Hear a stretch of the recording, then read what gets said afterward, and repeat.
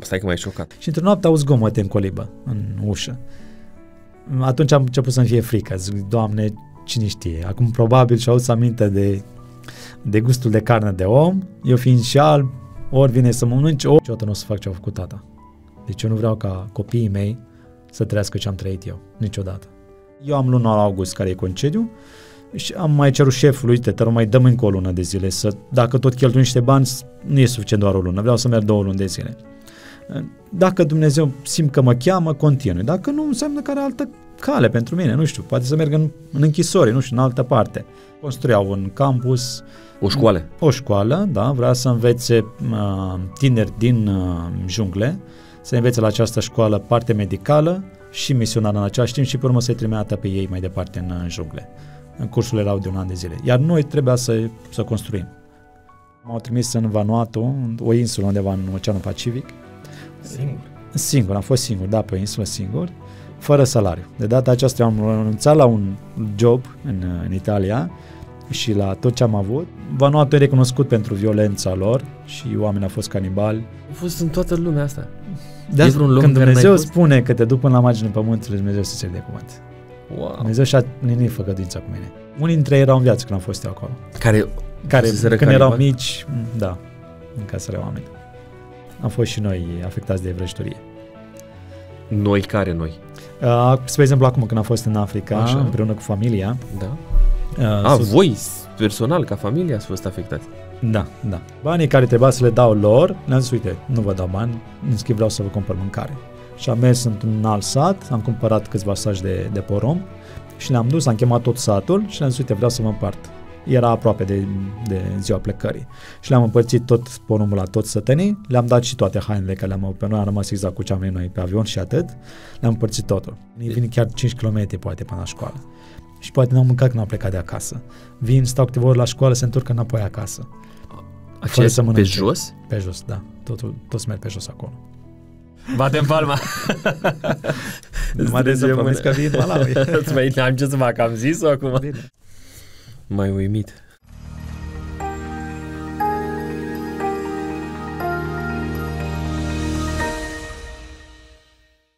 Bun regăsit, dragi prieteni! Sunt încântat să fim din nou împreună aici la Authentic Podcast apreciez din toată inima pe dumneavoastră cei care ne urmăriți aici pe uh, YouTube, uh, dar îi apreciez în egală măsură și pe aceia care aleg să ne asculte pe platformele de podcast, indiferent care uh, ar fi ele.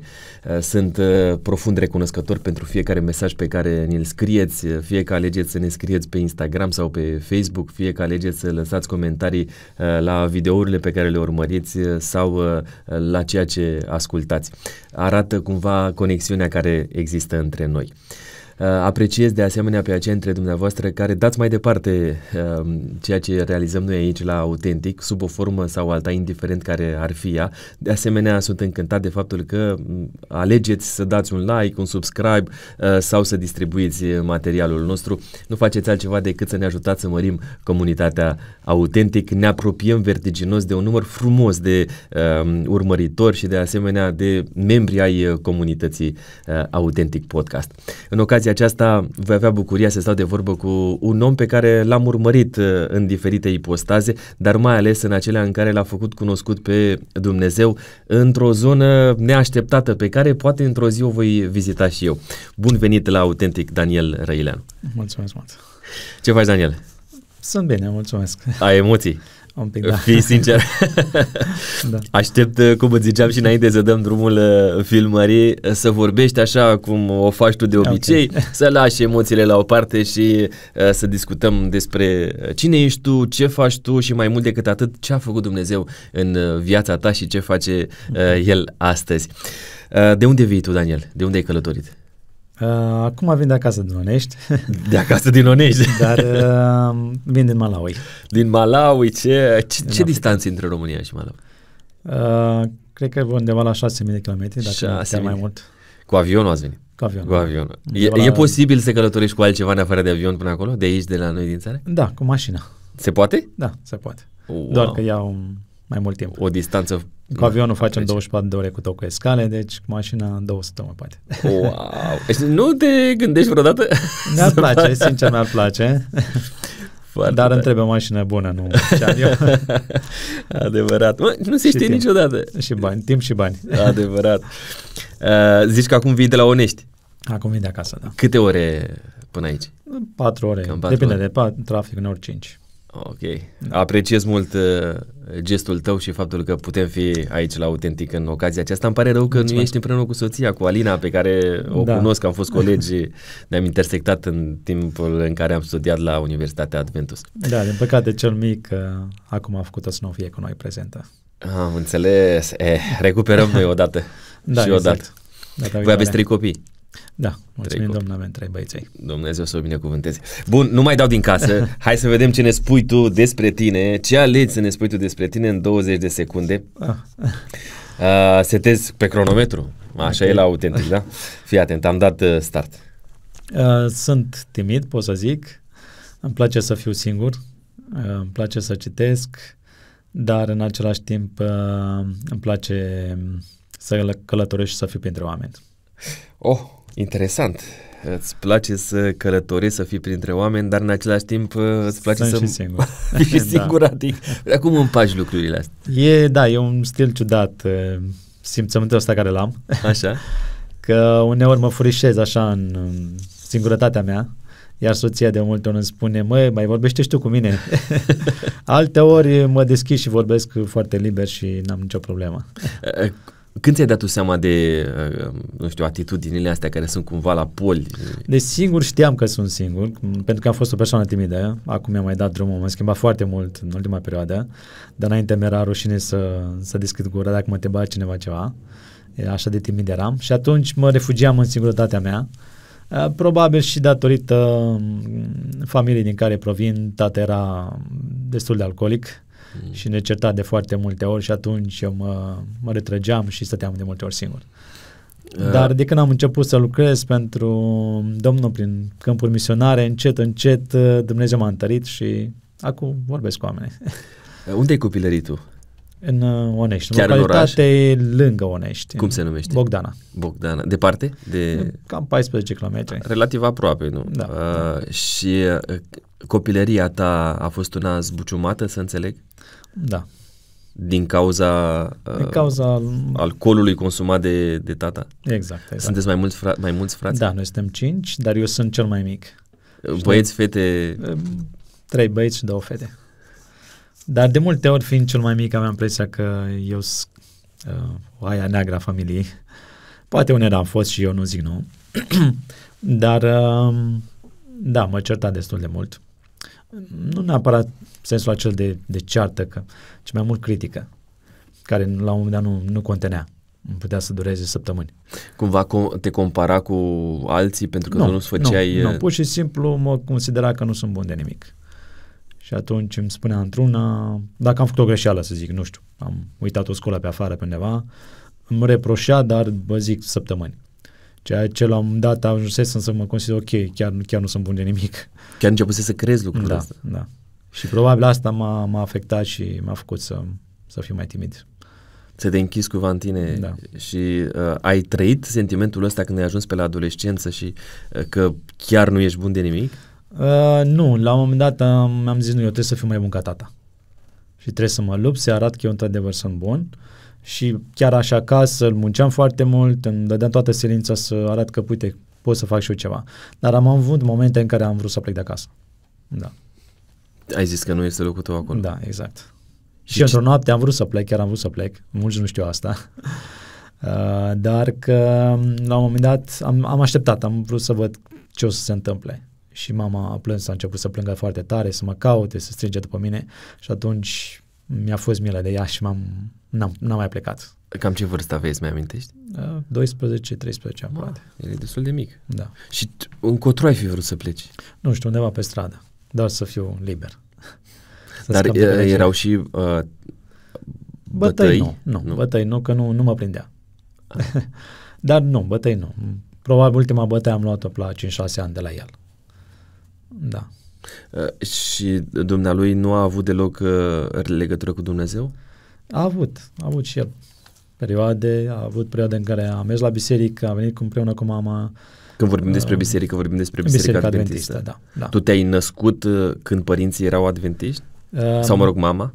Mama, da, deveniseră înainte să mă nască pe mine. Nu mai știu exact câți ani de înainte să mă nască pe mine. Mama m-a luat împreună cu ea la biserică, în schimb tatăl mergea în partea cealaltă la biserica ortodoxă. Dumnealui niciodată nu a fost uh, adventist. Nu a acceptat Nu. schimbarea aceasta. Deși i-a promis Domnului că se va schimba, a avut un, la un moment dat odată un infart și atunci când și-a revenit a, a spus că da, o să-L accept pe Dumnezeu în viața mea, dar niciodată nu l-a acceptat. Din păcate a murit acum vreo 5 ani de zile în urmă. Neschimbându-și Neschimbându-și. inima, nici comportamentul. A, a, ultima perioadă n-am mai băut atât de mult pentru că avea probleme cu inima și era sub tratament, dar uh, atitudinea tot aceea a rămas. Uh, Vorbe urâte? Da, mai când era beat. Când era treaz, nu, nu, nu jura. De fapt, nu jura nici când era beat, dar vorbea destul de vulgar uneori. Ai avut trăit vreodată sentimentul ăsta, locuind la țară, și eu am crescut Mhm. la țară și când te întâlnești cu oamenii pe stradă, pe uliță, pe Da. stradă, uite, vezi, când te întâlnești cu ei pe, pe uliță, la un moment dat, na, prin diferite părți ale satului, poate că nu te cunosc la fel de bine și te întrebau alcuiești. Ți-a fost vreodată rușine să spui alcuiești? Da, mai ales că lui tata îi sp- el porecla oamenii. Și atunci când mai zicea porecla, mai tare mi-era rușine. și pentru că el a consumat foarte mult alcool, am, f- am fost și săraci la rândul nostru. Uh, El aproape tot salariul dădea pe, Pe băutură. Pe băutură, da.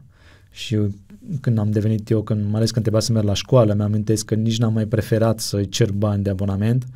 Uh, mergeam o porțiune de, de distanță aceasta până la Onești cu bicicleta și pe urmă luam trenul. Sau mergeam pe jos până la tren și pe iarăși cu trenul mergeam cu nașul. Încercam să mă discut doar ca să nu mai cer bani de la el, că nici nu aveam de multe ori. Uh, La sport, spre exemplu, nu aveam încălțăminte cu ce să merg, nu prea ne lăsa în sala de clasă pentru că nu aveam uh, echipament. Uneori mi-am duc aminte, am mers chiar cu papuci rupți pentru că nu aveam. Mm. Sau atunci când se rupeau, îi mai cosam eu acasă și încercam să merg la școală. Ai mers și la, la liceu? Am făcut o profesională de constructor tâmplar.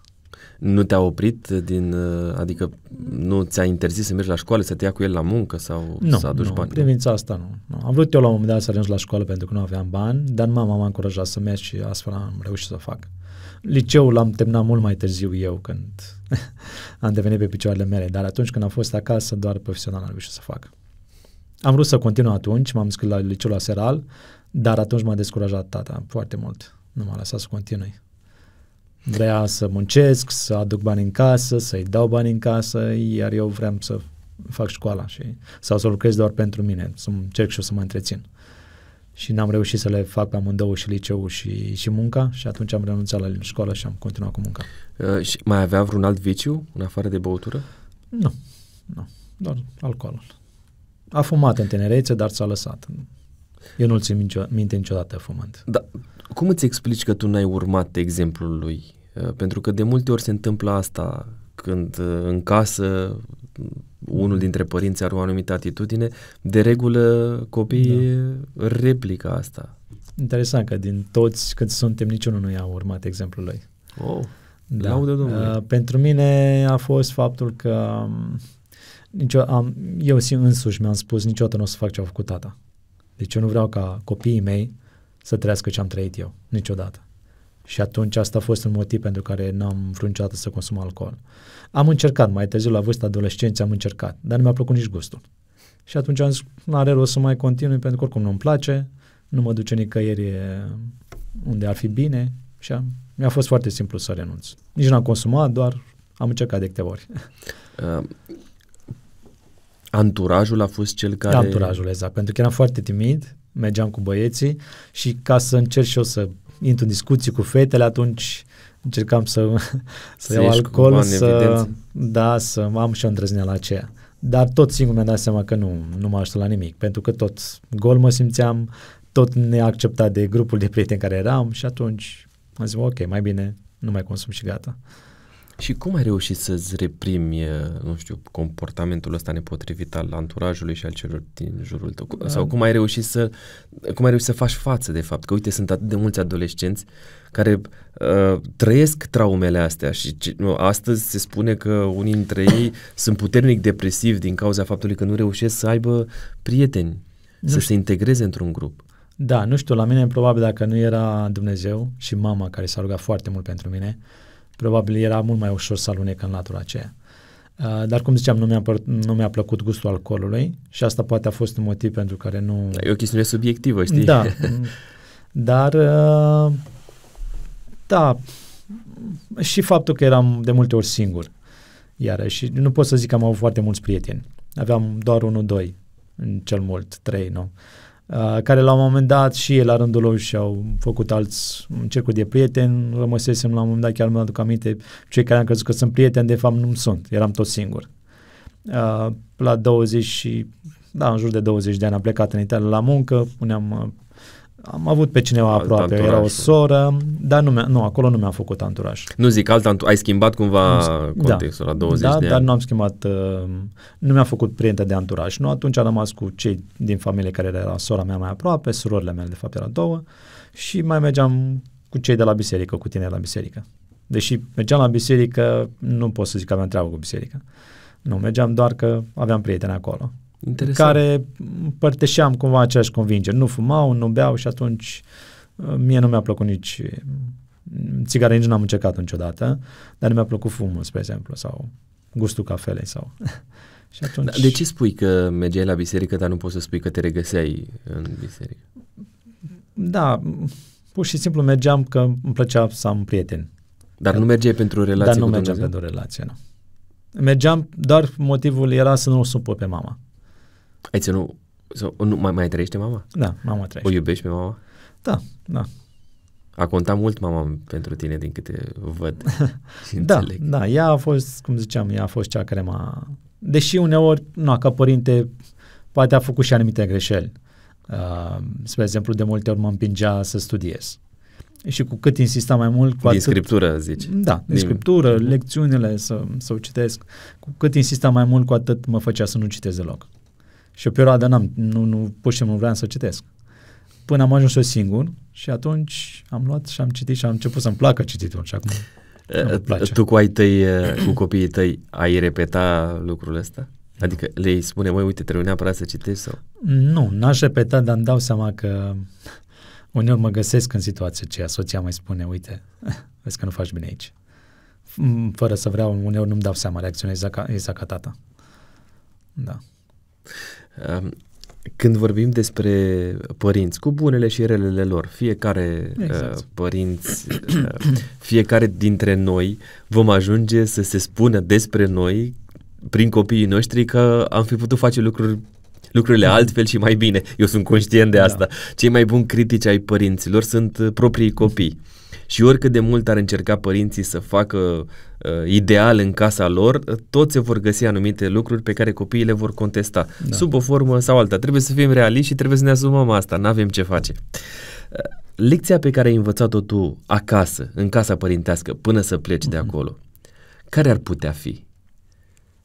Ce ai învățat tu din, din casa ta? Uh, de la părinții tăi sau de la frații tăi, nu știu mhm. care sunt diferențele de vârstă, dacă ei deja erau mari. plecați de acasă când tu uh, erai mai mhm. mic. Este, este ceva pe care ai purtat cu tine și ai, ai spus, măi, uite, indiferent de voi, ajun- voi ajunge, lecția asta e ceva ce am moștenit de la ai mei, de la bunici, de la, uh-huh. mă rog, familia mai lărgită. Sincer, nu prea, nu prea am ce să zic în dreptul acesta. Un, un singur lucru ar fi, trebuie să mă descurc singur. Mm nimeni nu, nu mă poate ajuta și atunci trebuie să mă descurc singur. Adică trebuie să înveți o meserie, trebuie să dai din coate, trebuie da. să fii sigur pe tine. Și atunci când lucrurile astea nu mergeau, uh, nu. E, te repliai, faptul că am fost ambițios cumva uh, și da, și faptul a contat foarte mult și că Dumnezeu m-a ajutat. Probabil dacă El uh, mă lăsa în, în calea care am urmat-o, era rău de mine, dar Dumnezeu nu m-a lăsat. Și atunci a contat, a contat mult și... Dar de ce spui calea pe care ai urmat-o? Că mi-ai zis că n-ai avut vicii, n-ai avut uh, na, atitudini din astea nepotrivite sau au fost? Uh, da, au fost, dar puține. puține. Ce înseamnă asta dacă ai inima deschisă să Cum ziceam, uh, de vreo două, trei ori m-am îmbătat, să zic, nu, sau nu știu. da. Au fost uh, anumite relații nepotrivite, da, în perioada asta de căutări cumva. Da, da. Uh, au fost și momente în care te-ai, uh, nu știu, gândit că poate tehnologia sau televizorul pe vremea aia când erai tânăr, uh-huh. nu știu, uh, cu anumite imagini nepotrivite ți-au atras atenția? Atunci, nu, nu mi-am amintesc că, când eram mic. În schimb, nu, când am plecat, am fost eu singur, da, nu. Și cum ai reușit să faci față dependenței astea de intimitate nepotrivită? Uh, iar uite, revin, astăzi... Revin tot la Dumnezeu. astăzi uh, ești la un click distanță, nu știu uh, da. ce vârstă ai, contează mai puțin, dar îmi dau seama că probabil sunt cam de aceeași generație. Dacă dăm timpul înapoi, acum 20 de ani, când eram noi uh, adolescenți, uh-huh. uh, nu era o tehnologie da. asta atât de la îndemână. Astăzi, dacă vrei să vezi, uh, nu știu, uh, sexualitate expusă, ești la un click uh, distanță și da. uneori uh, telefonul ăsta este um, extensia noastră, oriunde ne duce și uite la ce prăpăd face printre adolescenți. Sunt convins că uh, ne vor urmări adolescenți, tineri care mm. se confruntă cumva cu o dependență, poate na, n-ai trăit asta, da. dar uh, mă gândesc dincolo de deschiderea ta pe care o apreciez. Uh, cum ai reușit să, să depășești momentele astea? Uh, sincer, m-am rugat foarte mult Dumnezeu să mă, să mă ajute să nu intru în Um, să nu cazi mai adânc Exact, în asta. exact, da. Și totdeauna, pentru că mama m-a, m-a condus spre Dumnezeu, întotdeauna m-a luat la biserică și m-a condus spre Dumnezeu, uh, nu m-a, must, m-a mustrat totdeauna conștiința. Întotdeauna când făceam ceva greșit, știam că nu fac bine. Știam că afect, uh, ceea ce fac se supăr două persoane cel puțin. Este Dumnezeu și mama. Și atunci, deși uneori greșeam, pe urmă îmi părea foarte rău și încercam să nu, să nu mă afund și mai mult și mai mult. Până la momentul în care cu Dumnezeu în care... alături și implicându-te probabil, nu? Și la, Asta a fost la un moment soluție? dat uh, m-am, uh, m-am decis să-mi și predau viața lui Dumnezeu. De fapt, eram într-o, într-o seară, uh, chiar rămăsesem singur atunci. ai mei plecaseră în România, eram în Italia la lucru, eu am rămas singur undeva de, cred că de, eram de sărbătorile de iarnă eram singur, singur și mă gândeam, da, bine, am venit aici la muncă să-mi fac un viitor, dar de fapt sunt un singur, tot nefericit. Cu toate că aveai bani. Da, da, chiar lucram și câștigam destul de bine, reușit să să-mi iau mașină, să-mi ridic și la ceva la casă. Aici în România? În România, la da, casă. da, cu scopul să-mi fac o casă și pe viitor să mă reîntorc în țară, da. Nu au reușit să o termin atunci, dar cumpăraseră da. materiale și toate, da. Era un început. Exact. Și mi-am dat seama că sunt chiar singur, singur. Și nu știu cum a fost atunci, chiar nu mai știu să-mi explic nici eu. A fost așa ca un gând în care am stat și m-am gândit, de fapt eu sunt cel mai nenorocit. Nu l-am nici pe Dumnezeu și nici cu lumea aceasta. Și am zis că ok, lumea oricum nu, nu mi oferă nimic bun. Dar de ce să nu câștig viața veșnică? De ce să nu fiu cu Dumnezeu? Și atunci mi-am aduc aminte că am plâns, dar am plâns cu lacrimi. Și am început să citesc o carte în care autorul povestea experiența lui Iacov în drumul lui când era să întâlnească cu fratele lui, noaptea aceea când s-a luptat cu Dumnezeu. Și din momentul acela Iacov îl numește Dumnezeul meu. Nu mai zice Dumnezeul tatăl meu, Avram, Isaac și așa e. Numește Dumnezeul meu. Și autorul pune întrebare, nu vrei să fii și Dumnezeul tău? Și atunci am mărturisit și am zis, da, Doamne, vreau să fii Dumnezeul meu. Și atunci a fost momentul în care am zis, da, Doamne, vreau să-ți aparțin ție. Iar șase luni mai târziu m-am, m-am și botezat. La ce vârstă? La 25 de ani. Oh. Am amânat este... și pentru că eu totdeauna așteptam să fiu, să devin eu bun. Să renunț la păcat, să devin destul de bun încât Dumnezeu să mă primească. Până în noaptea aceea când mi-am dat seama, nu.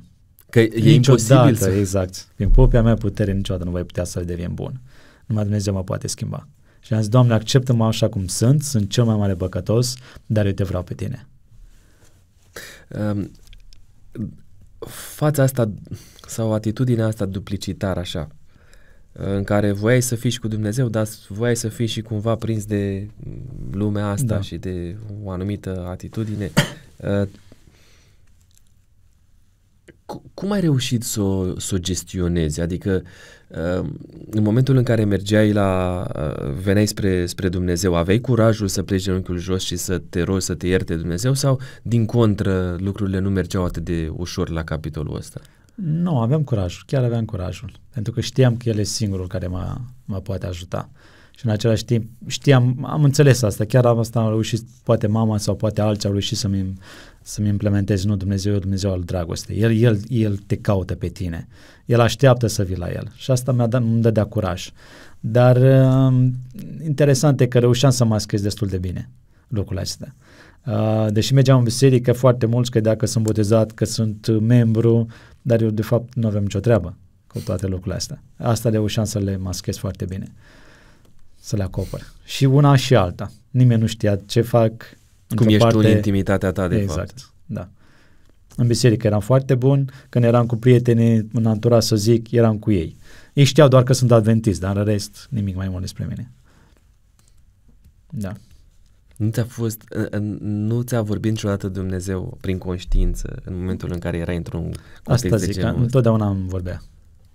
Și îmi spunea mereu, ce faci, vezi că nu e bine, ce faci, vezi că nu e bine. Și întotdeauna mă simțeam gol, întotdeauna. Până când am zis, ok, nu, nu mai, gata, mi-ajunge. Și după 25 de ani, după momentul în care tu ai zis, gata, uh, s-a schimbat, uh, ce s-a întâmplat cu viața ta? Atunci s-a schimbat radical. La 25 de ani când m-am botezat, era vară, m-am botezat în Italia, într-un râu. Uh, Ai vrut să o faci cum a făcut-o Domnul Hristos? Era un rău, așa a fost să fie atunci, când nu era bazin în biserica de români unde mhm. mergeam în Italia. Da, da. Fine, și a fost chiar frumos, că era natură. Adică să zic, a fost lipsa una... bazinului din biserică da. v-a dus într-un context foarte frumos. Exact. Și aș putea să zic că a fost una dintre cele mai frumoase zile. Eu până atunci n-am trăit emoții, uh, n-am, n-am avut așa bucurie pe inimă cum am avut în ziua aceea. Și atunci a fost, uh, am fost foarte bucuros. M-am, m-am rugat în schimb atunci și am zis, Doamne, pentru că am mers la biserică, nu toți acești ani, vedeam în biserică oameni care spuneau trebuie să facem, trebuie să facem, dar după zeci de ani am văzut la fel. Și tot cu aceeași idee, trebuie să facem. Și atunci am stat și m-am gândit, dacă nimic nu se schimbă, rămâne doar la nivel de vorbe, atunci pentru ce mai suntem în biserică aceasta adventistă? Asta m-am gândit eu, nu? Da, e o întrebare pertinentă. Da, nu și... văd rostul. Și am zis, Doamne, nu vreau să fiu așa, nu. Vreau să mă botez, dar eu vreau să slujesc. Nu vreau să fiu un simplu membru, nu merg sâmbătă la biserică, ascult o predică și încă o săptămână îmi văd de viața mea. Nu. Eu chiar vreau să sluji. Dacă tu ai zis că trebuie să facem ucenici și ucenicul e să se plece jos, să spele picioarele, eu asta vreau să fac. Eu nu vreau să fiu în funcție, vreau pur și simplu să slujesc. Cum? Nu știu, tu să mă înveți. Și Dumnezeu m-a ajutat. Atunci vreau să descoper ce cale îmi va oferi Dumnezeu, unde mă va chema. Într-adevăr, vreau să uh, să lucrez pentru Dumnezeu ca, ca colportor, evanghelist, misionar, nici eu nu știam cum. Încep... Dar tu te-ai, ai vrut să te spui la dispoziția exact, lui Dumnezeu și da. ai început să cauți oportunități? Încep, exact, da. Am început să merg în spitale, spre exemplu, cu Acolo cărți. în Italia? Da, da. În, cu cărți. Mi-am dat seama, nu. În dictor mergeam, nu aveam pace. Să stau de vorbă cu oamenii pe stradă, la fel să împart literatură, nu Nu, nu era pentru tine. Nu. În schimb, când la două săptămâni după botez, am plecat în uh, misiune. Asta a fost partea frumoasă. Ce înseamnă în misiune? În misiune externă, în America de Sud, în Guiana. Ai plecat din am Italia plecat din și Italia. ai zis, hai să merg în altă parte a lumii? Nu, am, am luat-o la început ca un test. Deși Dumnezeu uh, mi-a dat o făgăduință, uh, pot să o citesc, e făgăduința care mi-a dat Dumnezeu, este în Isaia 49 cu 6. O reții? Sau uh, ai nevoie să-ți dau Biblia? Hai să o redau așa cum o știu eu. Zice, este prea puțin lucru să fie robul meu, de aceea te pus să fie lumina neamurilor până la marginea pământului. Și ai luat-o ca pe un și îndemn? am luat-o exact ca pe un îndemn. Și am zis, ok, doamne, dacă asta îmi cer tu, uite, eu vreau să merg și în misiune, dar eu nu știu engleză, uh, n-am fost niciodată cu avionul în călătorii lungi în afară de Europa, deci nu știu, de fapt mă doar o singură dată, nu prea știu cum se călătorește cu avionul. Zic, dacă tu mă chem, mă duc. Și am văzut la un moment dat o predică la cineva care căuta voluntari în India. Și am zis, ok, nicio problemă, eu am luna august care e concediu și am mai cerut șefului, uite, te mai dăm încă o lună de zile, să, dacă tot cheltui niște bani, nu e suficient doar o lună, vreau să merg două luni de zile. Dacă Dumnezeu simt că mă cheamă, continui. Dacă nu, înseamnă că are altă cale pentru mine, nu știu, poate să merg în, în închisori, nu știu, în altă parte. Și atunci am, uh, mi-a zis, am luat contactul, am vorbit cu persoana respectivă. Român? Nu, Nu. nu, nu. Este din Statele Unite, dar atunci avea proiecte prin America de Sud și fusese și în India și spunea că vrea să deschidă acolo un proiect. În- Înseamnă că înțelegeai totuși limba engleză. Nu, nu, m-a ajutat cineva. Era Ah, o fată interesant. din biserică care ea știa engleză și mereu apelam la ea. Uite, te rog, tradum, te rog, spunem. Nu, nu știam. Probabil 10-15 cuvinte ce învățasem Astea de prin uzuale, așa. filme. Exact, da, Mhm. uzuale. Și atunci el mi-a zis, uite, nu am dat drumul la proiect în India, dar e în America de Sud. Avem un proiect, e o școală care încă se construiește, poți să vii să ajungi acolo. Și am zis, ok, nu, nu contează unde, doar vreau să merg două luni. Și atunci am mers pentru prima dată. Deși nu știam engleză, mi-au trimis un e-mail cum să ajung, trebuia să, nu, să ajung cu avionul, de acolo să iau autobuzul, să schimb autobuzul, să merg cu barca, să merg prin junglă. Singur? Singur. Până să ajung la ei. Mai ai Și- ceva imagini de atunci? Uh, da, dar puține atunci, pentru că am avut o cameră micuță și mi s-a stricat acolo și n-am reușit să fac prea multe, dar am, am ceva. Ai, poți să ne dai? Da, Da? e, dau. Ok, perfect, ca să le și arătăm uh, imaginile Da, din perioada. da. Și uh, drumul, toată, asta, toată distanța, parcurs, uh, mai ales tu care ne spui că ești mai timid, așa mai introvertit, Da. cum l-ai parcurs? Adică că mă gândesc că vorbim, uh, aveai 25 de ani, da? Da. Vorbim de ceva vreme în urmă, Da. cam câți ani au trecut de Vreo atunci? 16. 16 ani. Nu era nici tehnologia care Da. există astăzi. Cu toate astea ai ajuns acolo, Exact. te-ai descurcat. Da. Uh, A fost interesant uh, prima experiență. Și asta cred că contează, că de acolo Dumnezeu îți dea avânt. Ok, acum ai înțeles că sunt cu tine, nu? De acum poți să mergi. Oriunde te chem, poți să mergi, pentru că știu că Dumnezeu e cu mine. Ce a rămas Ah. așa pentru tine din Aia, aia a prima? fost prima experiență care m, m-a impresionat și care nu o uit. Da, ce a rămas din toată perioada asta de două luni? Două luni ai stat acolo. Da. Uh, poți să ne zici ceva care te-a impresionat așa, uh, care a rămas în inima ta din uh, toată perioada asta?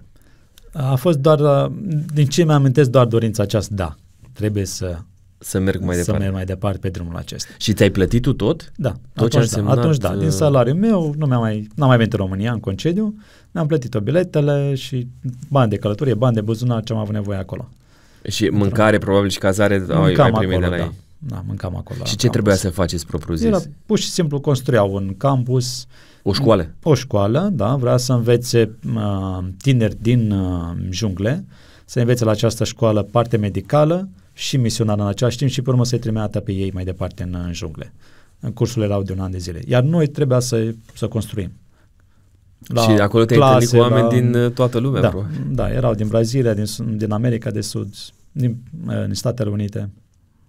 Foarte tare. Da.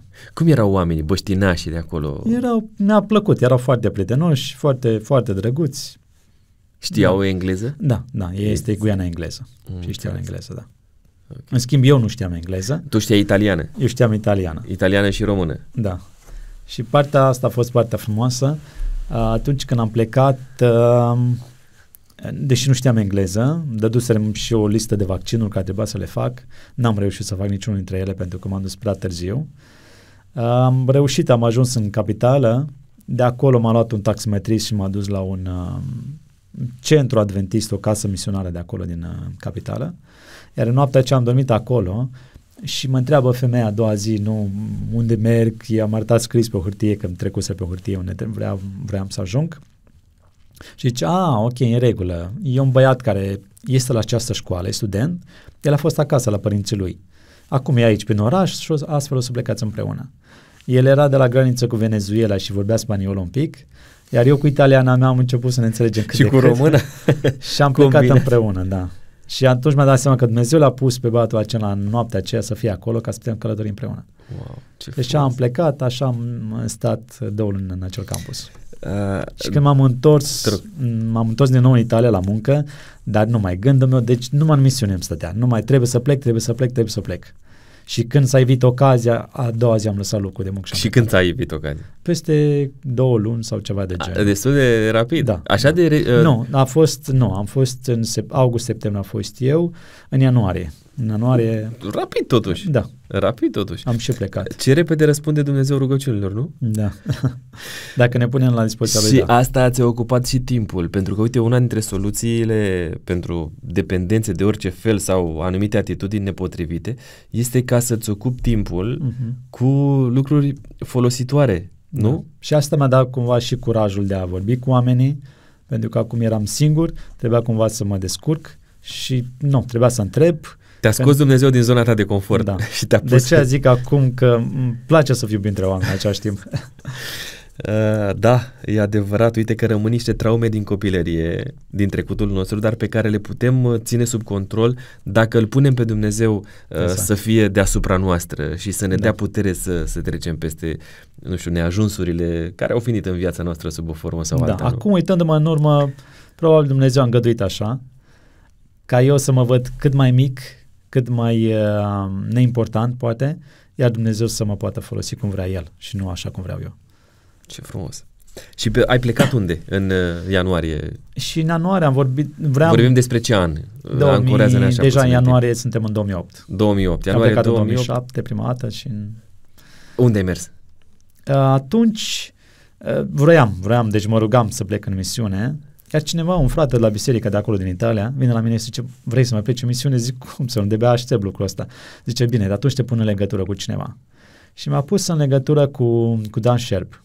El era pastor, avea o școală misionară undeva în uh, județul Suceava și am luat am legătura, am vorbit cu Dan Sherp la telefon, i-am spus că da, vreau să plec în misiune.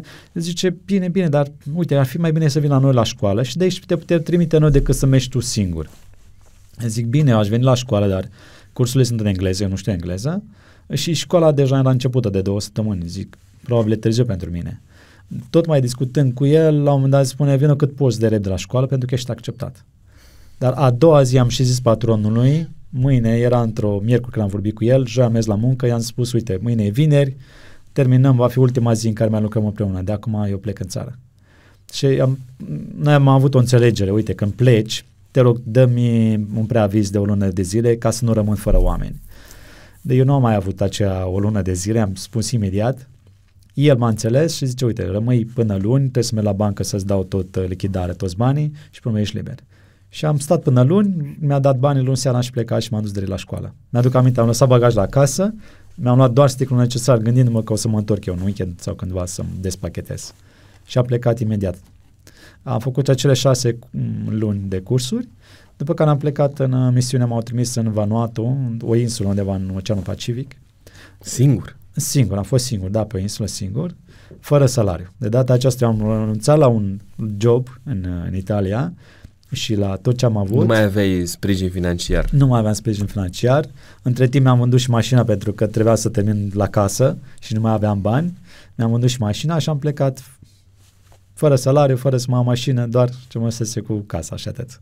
Uh, Evanuat e un stat mic undeva în, uh, aproape, nu departe de Australia, lângă Noua Caledonie, niște insule în Oceanul Pacific. Și m-a trimis pe o insulă în care Vanuatu e recunoscut pentru violența lor și oamenii au fost canibali. E o carte frumoasă acum uh, scrisă, se găsește în literatura noastră, am văzut-o la editura Via Sănătate, se cheamă Malecula. Este o insulă din arhipelagul Vanuatu. Și menționează puțin și de Romango. E când am citit cartea, m-am găsit acolo. Pentru că am fost acolo, am văzut pietrele funerare ale uh, misionarilor care au fost omorâți și mâncați de oameni de acolo. Deci am fost exact acolo. M-au dus într-o grotă și mi-au arătat doar schelete de oameni și uh, cum ei la rândul lor mâncau și depozitau oasele acolo. Stai că m-ai șocat. Astăzi mai se întâmplă asta? Nu, nu se mai întâmplă, fiind colonie... Dar când s-a întâmplat asta? Nu s-a întâmplat cu foarte mult nu, timp? Nu, am înțeles că prin anii 40-50. Până la urmă au intrat armata engleză peste ei și cumva i-au forțat să, să oprească canibalismul. Deci până atunci i-au mâncat. Unii dintre ei erau în viață când am fost eu acolo. Care, care când canibal? erau mici, da, mâncaseră oameni. Și cum da. își explicau? Uh... Asta era tradiția lor. Și făceau parte și din cultură. Mai târziu mi-au explicat și, și cum procedau.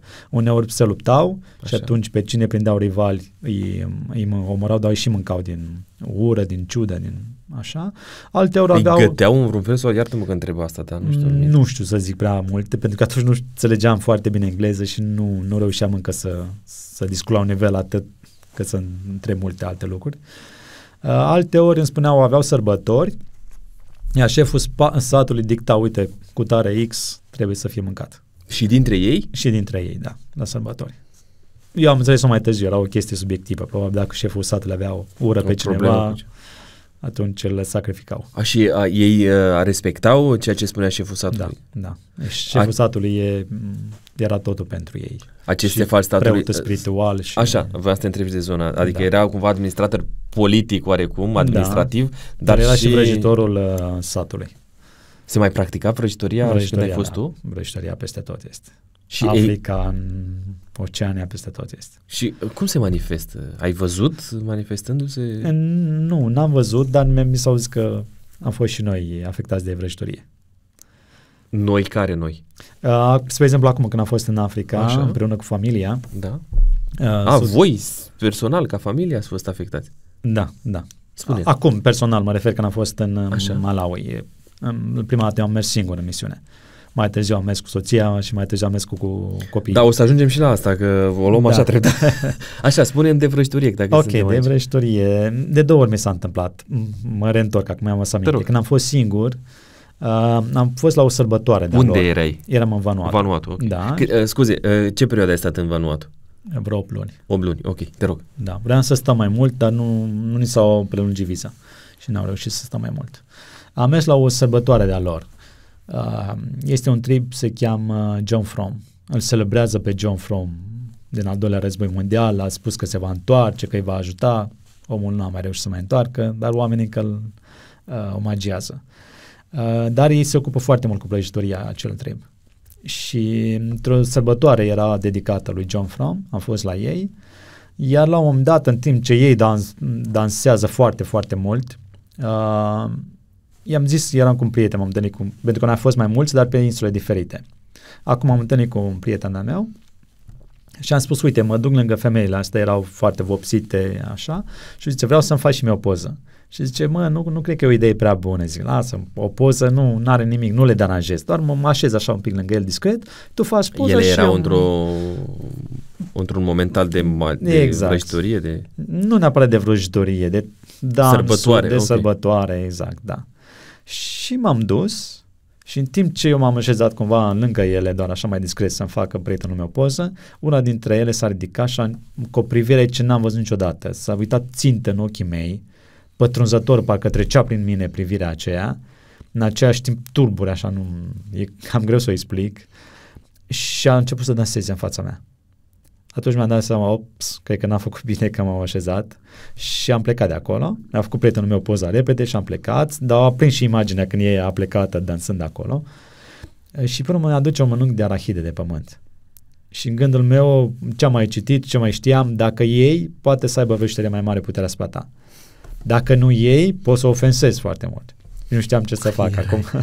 și zic, Doamne, fie ce-o fi, nici nu vreau să ofensez, iau. Și am luat. Și să le treci mi-a adus de trei ori. Le-am luat pe toate trei. De fiecare dată când mi-a adus. At- și trebuia să mănânci? Trebuia să mănânc. Eu le-am luat, dar sincer nu le-am mâncat. Mi-a fost teamă să le mănânc și nu, nu le-am mâncat. N-am pățit nimic. Nu, nu, nu mi s-a întâmplat nimic. Iar a doua ocazie eram cu familia în, aici în Malawi și la un moment dat Alina, soția mea, a înființat o grădiniță și se ocupă cu copiii de acolo din sat, merg și a noștri la grădiniță și uh, oamenii de acolo din sat au început să ia copiii să instruiască în vrăjitorie. Și, bineînțeles, oamenii au început să afle părinții copiilor, a început un scandal acolo în sat, să se certe cu bătrâna care făcea, a început să facă inițierea aceasta a copiilor. Iar într-un sabat, într-o sâmbătă, vine o femeie la Alina și îi spune, uite, am visat uh, și știu că toți copiii sunt împliși în vrăjitorie, printre care și a voștri ai mei nu sunt, am visat că ai mei sunt pro- protejați, am văzut un foc mare în jurul copiilor mei, dar a voștri nu sunt protejați. Atunci, na, Lina s-a descurajat puțin, mi-a spus, uite ce facem, mai lăsăm copii la grădiniță, nu mai lăsăm. Am încurajat și am spus, stai liniștită. Dacă Domnul e cu noi, nu se va întâmpla nimic. Și mai târziu, într-adevăr, nu s-a întâmplat nimic. Probabil a fost un mod de a ne descuraja mai tare și pe noi. Dar, mulțumim Dumnezeu, suntem, suntem bine și nu s-a întâmplat nimic a, Acolo lucrurile astea sunt la ordinea zilei. Da, înțeleg. și ce am, pe urmă am început să pun întrebări tot mai mult. din astea supranaturale? Da. Și am început să întreb tot mai mult despre lucrul acesta și mi-au spus, chiar și din biserica noastră, merg la vraci și plătesc. Au teama de moarte. Dacă nu dau bani, atunci poate să-i omoare și le ia viața. Și ei merg de frică și plătesc ca să fie în siguranță. Deși uită că Dumnezeu e mai mare decât ei. Și am, acum am povești despre lucrul acesta, oameni care s-au, s-au întors la Dumnezeu cu adevărat din, din Africa. Sunt și care au fost, frați uh, care s-au convertit? Care s-au convertit, da. Wow, ceva extraordinar. Uh, bun, după Vanuatu, 8 luni de stat acolo, ai plecat, ai, te-ai reîntors? M-am în, reîntors în țară, în țară și din nou căutam să plec în misiune. Eu am vrut să stau mai mult în Vanuatu, dar, cum ziceam, nu, nu ne-au permis. Uh, am început să mă rog din nou. Era o organizație atunci, se numea Pilgrim Relief Society, care avea proiecte și în Africa. A spus, uite, vreau din nou să merg în misiune. Ei mi-au zis, ok, vrem, te știm, avem nevoie de tine, dar nu, nu aveam bani să-ți plătim biletul de avion, nu avem bani de nimic pentru tine.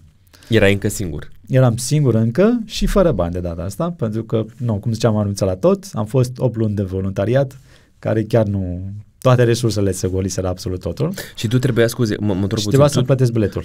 Uh, tu trebuia acolo în Vanuatu să-i creștinezi pe oamenii de acolo. Da. Să le vorbești despre Isus. Exact și să ajutăm și pe partea socială, să zic, cum putem. Și ai reușit? Uh, nu. Trebuia să le facem un sistem de apă, dar s-a blocat cumva proiectul, n-am mai primit donațiile și Și oameni care să se, să se convertească au fost? Da, da. Deși am stat puțin printre ei, Uh, erau creștini printre ei sau da, te-ai da, dus? Da, erau, erau totuși. Erau, erau. Partea frumoasă este atunci când am ajuns în... Uh, am, am plecat practic șase persoane. De acolo, din capitală, ne-am împărțit pe mai, mai multe insule.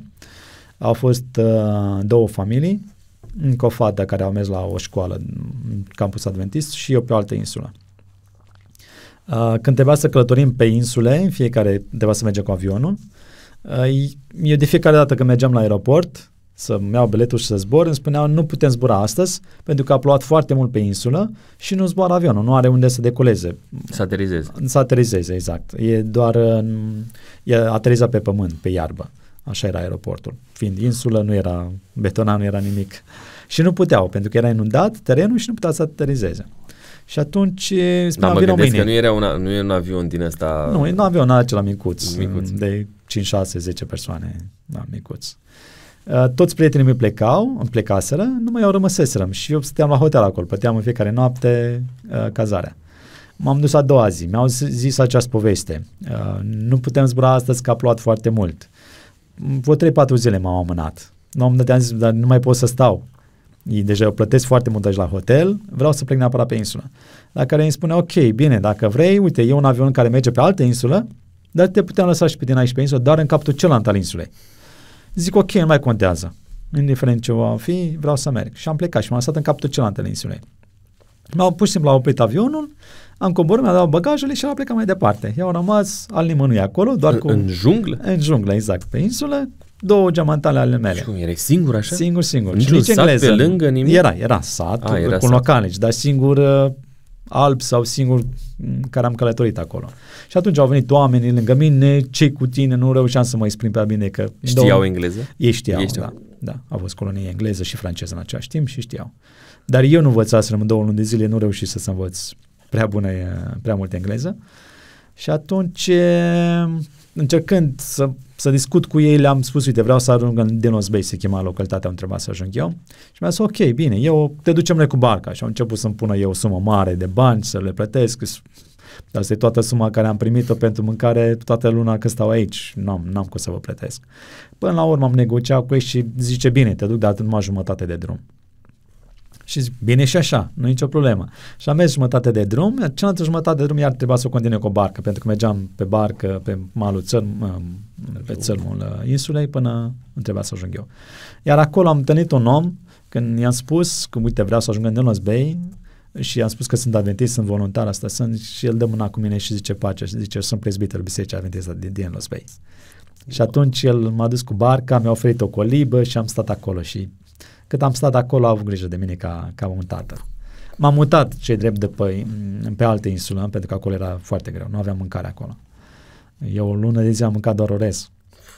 Păi și ei ce mâncau? Ei mai culegeau fructe, mai aveau, dar eu fiind străin, nu-mi dădea nimeni. Mi-aduc aminte odată, uh, mi-au adus niște pește și ei. Și așa aș fi mâncat atunci peștele acela cu bucate de pâine. Mă să de orez, nu mai vreau orez. Am zis, Doamne, vreau pâine de asta la peștele asta. Dar unde? De unde se iau pâine? Acolo nu exista magazin. Era doar o mică baracă unde avea ceva de mâncare. De obicei vindeau gaz pentru lampă, uh, niște, nu mai știu exact ceva, dar oricum chestii care nu, nu, nu-mi trebuiau și atât. Și zic, dar aș mânca asta cu pâine, peștele acesta cu pâine. Și în ziua aceea am mâncat în dimineață, l-am curățat, am dat sare, zic ok, o să-l mănânc la preț când o să mă întorc înapoi la colibă. Vreau, vreau să mănânc sal, să văd cu ce pot să fiu de folos oamenilor. Am mers, câțiva oameni lucrau la o, la o casă, o construiau acolo, am zis, uite, pot să vă ajut și eu, am dus, i-am ajutat, am muncit cu ei, uh, iar mai târziu când am zis că plec acasă la coliba mea, îmi zice, stai, stai că vreau să dau ceva. Și mi-aduce două chifle de pâine rotunde, făcute de, de soția lui. Și mi le-a dat. Și atunci am reușit să mănânc cu peștele. Și mi-am auzit că Dumnezeu poate să asculte chiar și gândurile. Mm. Și absolut totul. Și îți dă ceea ce ține cont de dorințe Dumnezeu. E în Dumnezeu al dragostei. Ce fai! Da. Și mai târziu, uh, nu, că era, era destul de greu, am, m-am mutat pe alte insule, era un pic mai bine acolo și acum asta restul perioadei. Dar uh, pentru că ai amintit la un moment dat că erai singurul alb și așa, ai avut uh, ceva probleme din cauza asta? Uh, nu, n-am avut probleme. În schimb, într-o noapte, Dumnezeu știe, te trece prin anumite experiențe ca să ajungi să-L cunoști mai bine. Și asta a îngăduit Dumnezeu în viața mea. Fiind uh, nou convertit, încă eu nu aveam o experiență cu Dumnezeu. Nu, nu-L cunoșteam. Nu aveam încredere încă în El.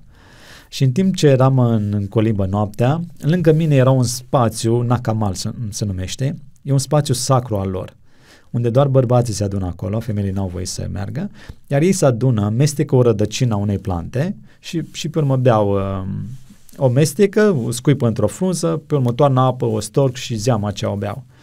Și eu, e efectul unui, ca și la alcool, dar nu-ți dă aceea stare de, de nervozitate, ci te face calm, în schimb era lângă mine. Eu nu știam atunci efectele. Știam consumă, știam locul acela, dar nu știam efectele. Și într-o noapte auzi zgomote în colibă, în ușă. Atunci am început să-mi fie frică. Zic, Doamne, cine știe? Acum probabil și auzi aminte de, de gustul de carne de om, eu fiind și alb, ori vine să mănânci, ori vine și mă lasă fără lucru, fără nimic, deci nu mai pot să uh, plec de aici cu nimic. Uh, am început să mă rog, Doamne, te rog, ajută-mă, Doamne, salvează-mă. După ceva timp, aud din nou zgomote. Și zic, Doamne, chiar că e ceva. Și atunci m-am strigat și am zis, e cineva acolo? Liniște, nu? După ceva, în timpul ăsta tot mă rugam, mă rugam, mă rugam, din nou zgomote.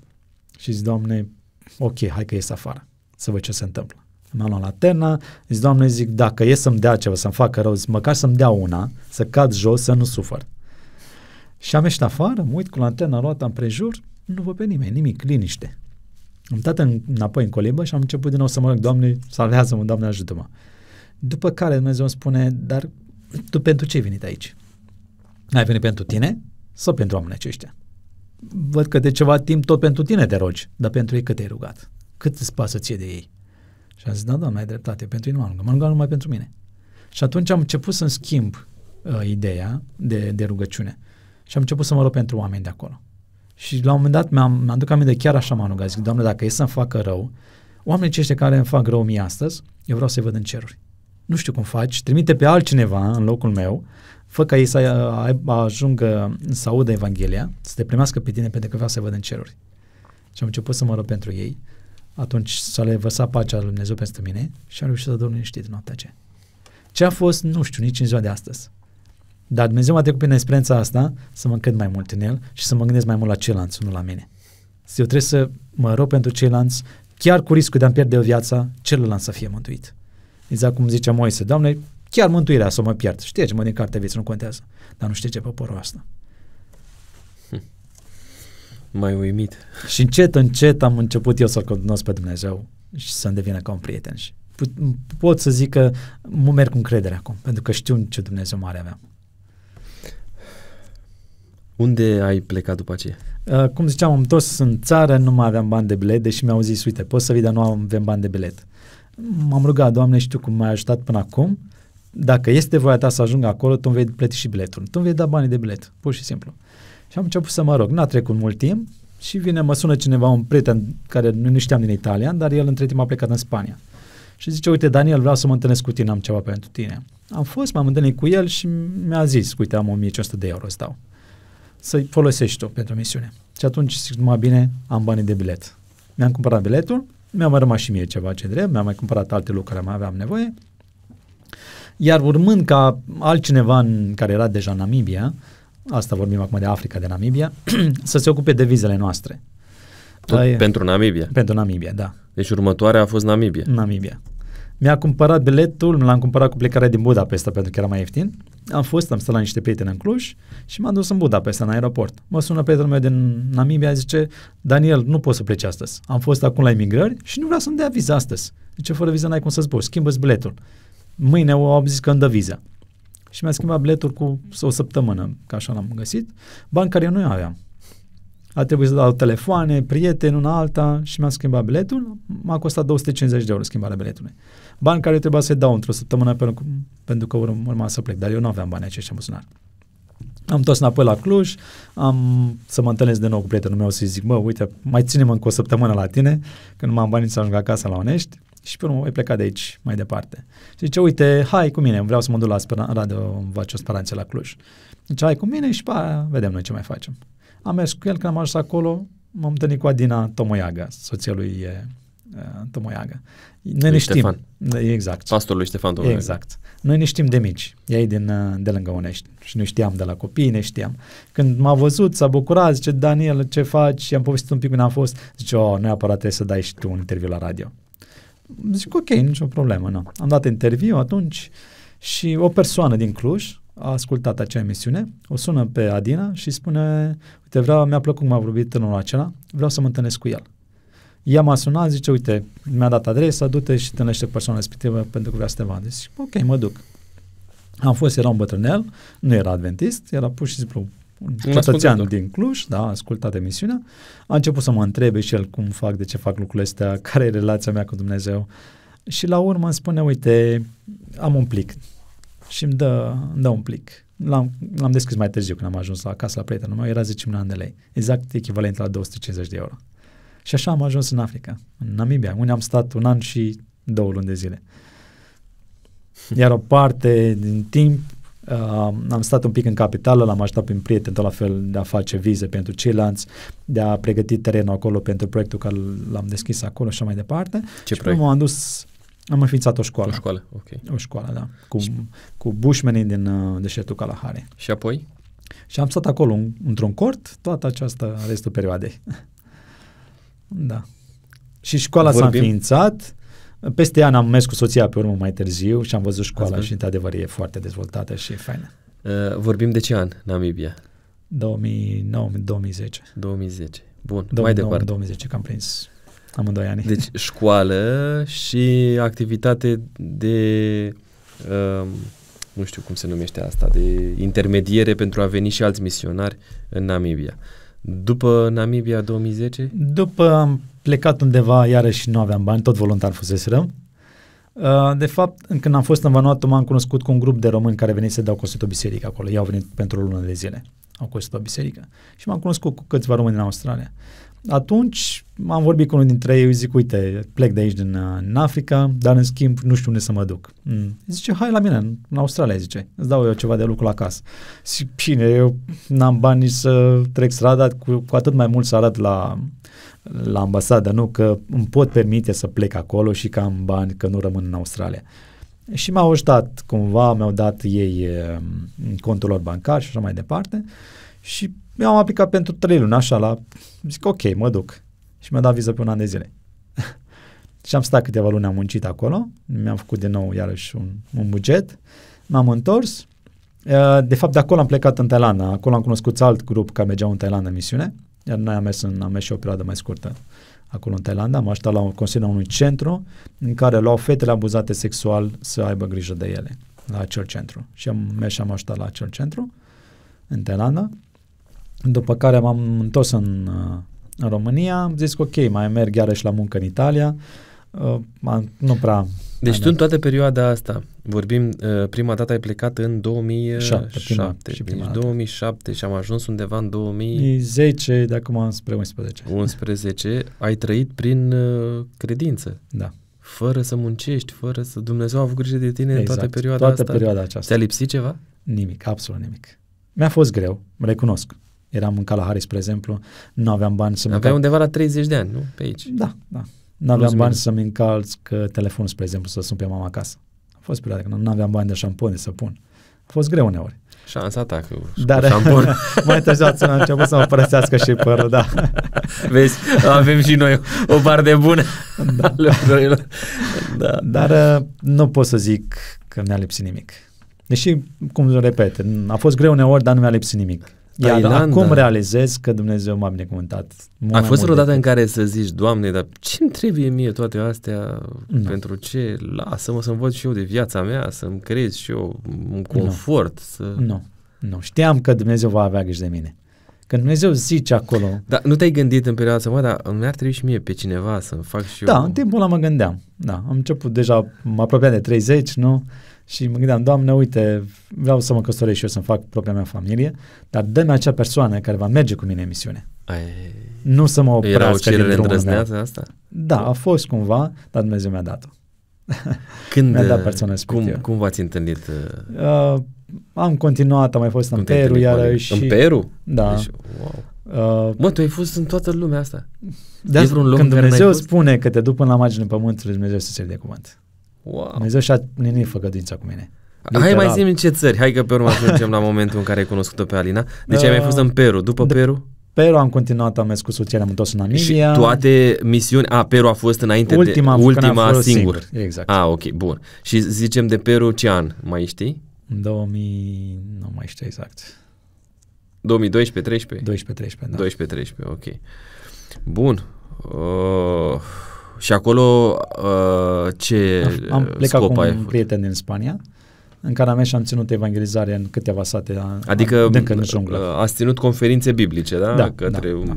Să le spuneți oamenilor despre Dumnezeu, despre Exact. Isus. Chiar în evangelizare în centrul satului, evangelizez seara, evangelizare publică, iar ziua Da. meream din colibă în colibă și cu Biblia ce și le limbă? explicam în ce- spaniolă. În spaniolă. Ai Da. învățat și spaniolă. Nu, eu nu știam, dar știa prietenul meu foarte bine. Și cu engleza a început să te descurci? Da, da, da. Din cu ce în ce mai examen- bine. Din ce în ce mai bine.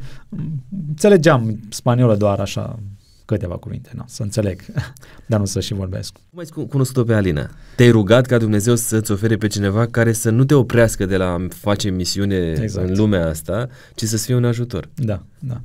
Uh, După Peru m-am întors în România, atunci m-am apucat de asistență medicală, mi-am dat seama că e, e nevoie în misiune. Ca să fiu mult mai eficient, să ajung mult mai ușor la inima oamenilor, uh, trebuie să fac și școala asta. Am reușit să termin liceul și atunci m-am înscris la școala post-san, post-liceală, nu mai știu exact cum se cheamă. Post-liceală sanitară, da? Sanitară, Pentru a deveni exact, asistent, medical. Exact, Ok. da? Și, în Și timp ce unde s-a făceam- întâmplat asta? În Onești, A, chiar în oraș, chiar în acolo la oraș, tine. da, da. În timpul acela, uh, un prieten de-a meu era prieten cu sora Alinei. Și el tot îmi spunea, mă, hai să ne facem cumnați. Zic, bine, nu, hai să o văd, dacă îmi place. Nu, întâi, nu pot să zic că ne face până nu o văd. Și invers, că Și invers. e normal. Am avut uh, ce drept altcineva în care ei îi spunea despre mine, uh, prietenul meu și altcineva îmi spunea despre ea și tot așa au fost legăturile. Când la un moment dat am început, s- m, i-am cerut contactul, a refuzat la început, zice, Așa fetele. da, se gândea poate, mă, dar ce tu pe ăsta ăsta, din prima îmi cere numărul de telefon, dar eu f- stăteam la țară și nu aveam prea bun semnal. Zic, internet nu am, pentru că nu am semnal bun, tot telefonul rămâne în cea de comunicare. Iar să ajung la Cluj, nu, am ia ceva timp. Până la urmă, nu. Vă mai multe insistențe, mi-a dat numărul, am început să vorbesc și am zis că ok, nu mai lungesc. Merg și o văd, de acum aveam 30 de ani, zic nu. Uh, vreau să fie o relație serioasă, nu mai pot să stau așa cu cineva fără să-l cunosc. Și mi-a făcut curaj, m-am dus odată la Cluj, ne-am văzut, ne-am plăcut și de atunci am rămas prieteni și mai târziu am Cât a cerut durat căsătorie. prietenia voastră? Până la căsătorie a durat un an jumate. Un an și jumătate. Timp în care ați reușit să vă, vă întâlniți mai des, să Da. vă cunoașteți. Da. Uh, Cum e Alina? Și ea la rândul ei își căuta pe cineva la fel. Se Mi-a ruga po- și se ea ruga. pentru cineva Mi-a povestit că atunci când era la... la Adventus, la, la- a, exact, la Cernica, Cernic. uh, se visa peste 10 ani să fie undeva într-un proiect misionar în Africa. Alina a fost uh, colegă de clasă cu soția mea. Da, da, mi-a povestit, da. Și atunci a- așa am reușit când au studiat împreună asistență socială la Da, uh, Adventus. exact. Foarte fain. Și Dumnezeu ne-a, ne unit și atunci am mers împreună. Și mi-aduc aminte, asta a fost motoul nostru la nuntă. Unde vei merge, tu voi merge și eu. Și ne-am luat amândoi ca moto și împreună mergem peste tot. Deci uh, nu se există, ea să rămână acasă și eu să plec în Africa, nu. Deci numai aici, uite, vezi, n-ați reușit să fiți Da, astăzi într-o altă ocazie. Alina, ne promiți că data viitoare vii și tu aici la noi, da? E, e bebelușul acum care a făcut-o să stea Da, uite, vezi că a apărut cineva da. care e mai presus decât tine. da. Un gluma se înțelege da. categoric. E, și uh, asta e ce să facem pentru o perioadă de timp, uh, depind alții de noi exact. și atunci trebuie să le dăm uh, întâietate. Mi-aduc aminte la, imediat după nuntă, Uh, acum ne gândeam și noi, uite, suntem căsătoriți, ar fi bine să ne luăm... Eu aveam casă, dar eram, eram încă cu ai mei. Acolo am vrut să o fac cu ai mei și ne-am zis nu, nu stăm nici cu ai tăi, nici cu ai, nici cu ai mei când, ne, când, când am căsătorit. Și atunci am zis ok, hai să ne luăm un apartament, să ne luăm ceva. Și ne-am gândit să, să plecăm undeva în afară. Chiar am primit un telefon de la cineva din Anglia, uite, ofertă bună, veniți Să munciți o perioadă afară. Exact. Dar în același timp noi vreau să plecăm și în misiune. Vreau să mergem undeva în Etiopia, niște triburi foarte izolate din sudul țării. Și atunci trebuie să alegem ce facem. Mergem la muncă sau mergem în, în misiune așa cum ne-am propus. Și am zis, nu contează, mergem în misiune. Dumnezeu, dar chiar dacă pedem acel loc de muncă, Dumnezeu ne poate da altul. Și atunci, la, la scurt timp după nuntă, cred că o lună sau ceva de genul, ne-am luat rupsacele în spate și, și am plecat, plecat într-o lună de miere. de misiune. Foarte, foarte izolat. Și unde ați fost? În? În Etiopia. În Etiopia. La... Pe banii voștri. Uh, scuze, înainte de fapt fusesem, înainte de nuntă, fusesem cu ea în Namibia. Okay. Unde am stat uh, la altă școală de data aceasta. A fost cumva un test? Da, ceva de genul, să zicem, și pentru ea. Numai că atunci a fost ok pentru ea. Uh, nu, no, am stat într-un campus, deja a avut alte condiții, dar când am venit amândoi a fost total diferit. În Etiopia a fost altceva. Da, altceva. Deci am mers cu rupsacele, am călătorit cu ei în autobuzele lor, uh, am dormit acolo unde au dormit ei, am stat printre oameni. Și atunci a văzut viața dură. Și scopul care a fost pentru Etiopia? Ce trebuia să, să faceți? Să deschidem mai departe un proiect misionar în acea zonă. Adică să uh, fiți uh, în, uh, cumva promotorii pentru Isus Hristos în uh, zona da, respectivă. Într-o zonă care nu este atinsă de Evanghelie. Da. Wow. Și cum ați fost primiți acolo? La început cam reticenți, nu prea au înțeles nici ei scopul nostru. Noi ne-am dus pur și simplu am stat de vorbă, în, uh, am stat cu ei în satele lor și erau chiar, vorbesc de triburi acum foarte izolate. Dacă vă uitați pe internet o să vedeți cum își schimonosesc fața ca să fie mai atractiv sau mai mai ciudați, să zic. și nu am stat printre ei, ne-am pus cortul. Le dai poze, da? Da, să-i da. vedem așa. Ne-am pus cortul chiar în, să zic, curtea la cineva acolo și am stat Va primi cineva ei. totuși. Da, până la urmă ne-a primit cineva. A zis, ok, stați aici, nicio problemă. Uh, și nu prea am înțeles. După ceva timp, stând cu ei zi de zi, am început să-i ajutăm pe urmă la treburi, uh, să ne oferim îngrijire medicală, pentru că și Alina de timp uh, studiaseră asistența medicală, aparte de ce făcuseră ea. Eu la fel și atunci am început să-i îngrijim și să pur și simplu ne ocupăm de nevoile lor, mai mult decât partea spirituală. Dar începeam și partea spirituală. În timp ce mergeam în casă cu el, ducându-le câte un pachetel sau ceva, atunci le ziceam, uite, nu vine din partea noastră, e Dumnezeu cel care vă dă, care vă dă sănătate. Și încercam încet, încet să le spunem. Ați avut ceva Dumnezeu. sponsori sau pe banii voștri? Nu, pe banii noștri. Tot a fost pe banii voștri. Da, da, atunci am mers pe banii noștri iarăși. Și am stat printre ei și tocmai la urmă uh, ne-au spus oamenii de acolo, acum înțelegem pentru ce ați venit voi aici. Vrem data viitoare când veniți să faceți parte din comunitatea noastră. Vrem să vă construim o colibă și să vă primim ca, ca ai noștri. Între timp s-a mai divit și alt proiect cu o altă școală, la fel avea nevoie de ajutor, dar din păcate n-am reușit să mai ajungem din nou în, în Etiopia. Dar gândul meu e acolo. Câți ani a stat? Câte, mă rog, ce perioadă? Nu, am stat o lună și, o lună și, și un pic. pic da. A, și într-o lună și un pic și-a văzut o schimbare printre oameni. Da. Am stat cu ei și am făcut exact ce mare e Dumnezeu ce făceau ei, am ajutat pe ei și le-am dat, am făcut opusul la ceea ce fac alții. Ce mai mulți merg ca, ca și turiști să-i vadă poate pe acești oameni.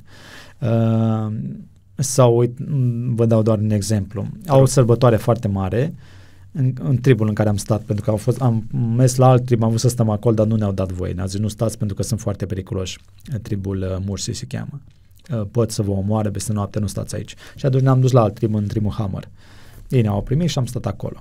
Ei au o sărbătoare de inițiere, atunci când bărbatul devine, băiatul devine adult și când fata devine la perioada de pubertate, când de acum încolo poate să se căsătorească. Băieții trebuie să sară pe, pe niște vite, le pun una lângă alta și trebuie să sară peste ele, iar femeile sunt bătute de, de bărbați pe spate cu, cu bețe, dar bătute, adică le să crapă reziste. pielea, da, să reziste.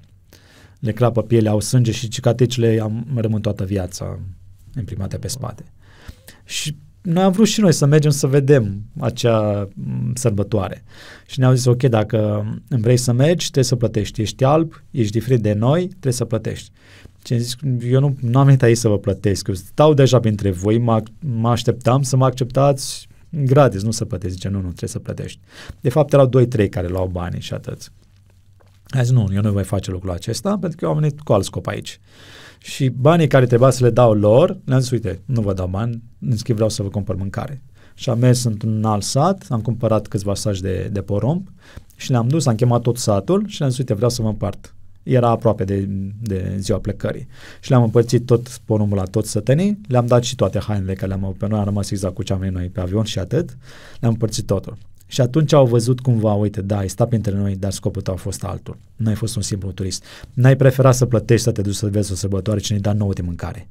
Și au văzut diferența. Și atunci ne-au zis, ok, tu poți să vii să stai printre noi, vii să construim o colibă.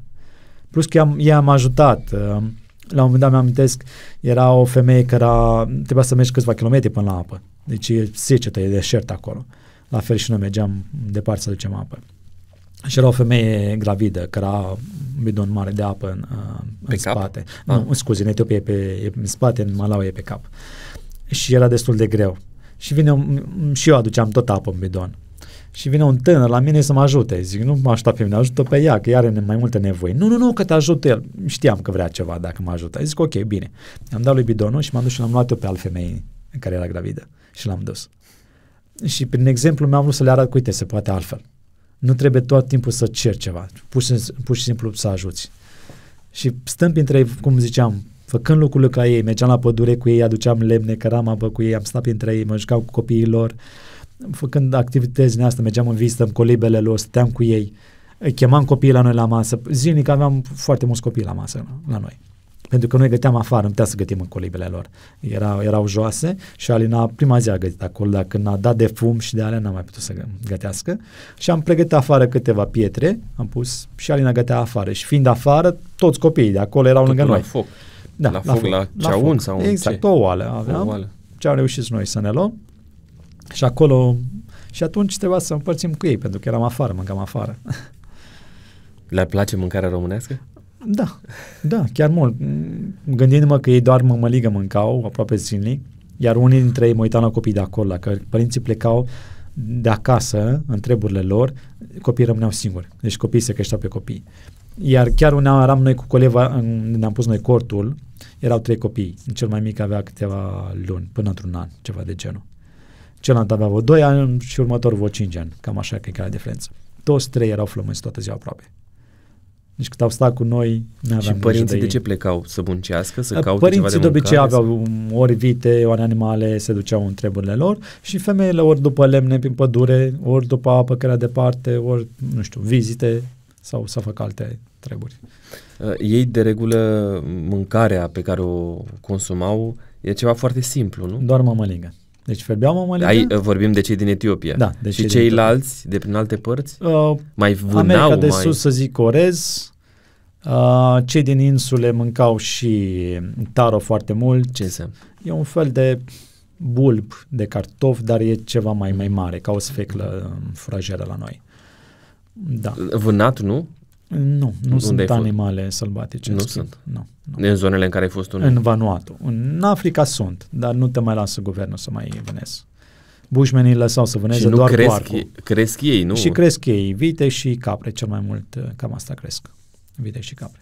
Uh, când vorbim despre copii, în toată perioada asta pe unde ați fost voi plecați, până să ajungem la Malawi, Uh, ce te-a șocat cel mai mult când vine vorba de copii? Sărăcie. Deci să, să vezi un copilaj, nu, până- cum ziceam, până într-un an de zile, să stea flămând toată ziua, mi-am dat seama cât de sărași poate să fie, oameni ce. Erau uh, Foarte, foarte malnutriți? săraci. Da, da, mai ales în Etiopia. Mureau și de foame? A, efectiv. Nu am văzut cât am stat noi acolo, dar astea zic statisticile, că mor de foame și de sete. Apa e o mare problemă. Da, da. Și ei pentru a găti trebuie să aduncă de la uh, kilometri? Vorbim Uh, de da, distanțe da, cam, cam extrem 3 de km mergeam noi până la un, uh, o pompă ma- manuală montată de guvern, unde a- scoteau apă, da. A, și de acolo veneau mai multe sate. Da, Și exact. când vorbim despre sate, ce număr au oameni? Cel puțin de Depinde, stat tu uneori acolo. poate să fie doar 20 de persoane, doar Ah. familia restrânsă, alteori poate să fie sute. Și unde ai stat tu, de unde ne povestești? Cam cât? Probabil, nu știu să zic, Așa, cu aproximativ. 50-60 de persoane. persoane. Cu tot cu copii? Da, Când da, vorbim să de- zicem, da. Familiile au de regulă mai mulți copii Da, 4, 5. și uh, media lor de vârstă cât trăiesc? Uh, sau În uh, general speranța am de văzut, viață? Da, femeile trăiesc mult mai mult decât bărbații. Bărbații am observat, fumează, beau viciile acestea, da. Au ce să fumeze? Da, iarbă. Serios? Da. Adică dro- din astea... nu neapărat droguri, anumite frunze, anumite plante și le fac tip țigară și, și fumează. Și femeile nu au voie? Chiar sau? am văzut în foi de, de copii, de, de căite de, de la școală, de la copiilor. Aveau paginele, foile le, și le făceau, puneau frunze, le făceau țigara și fumau. Da.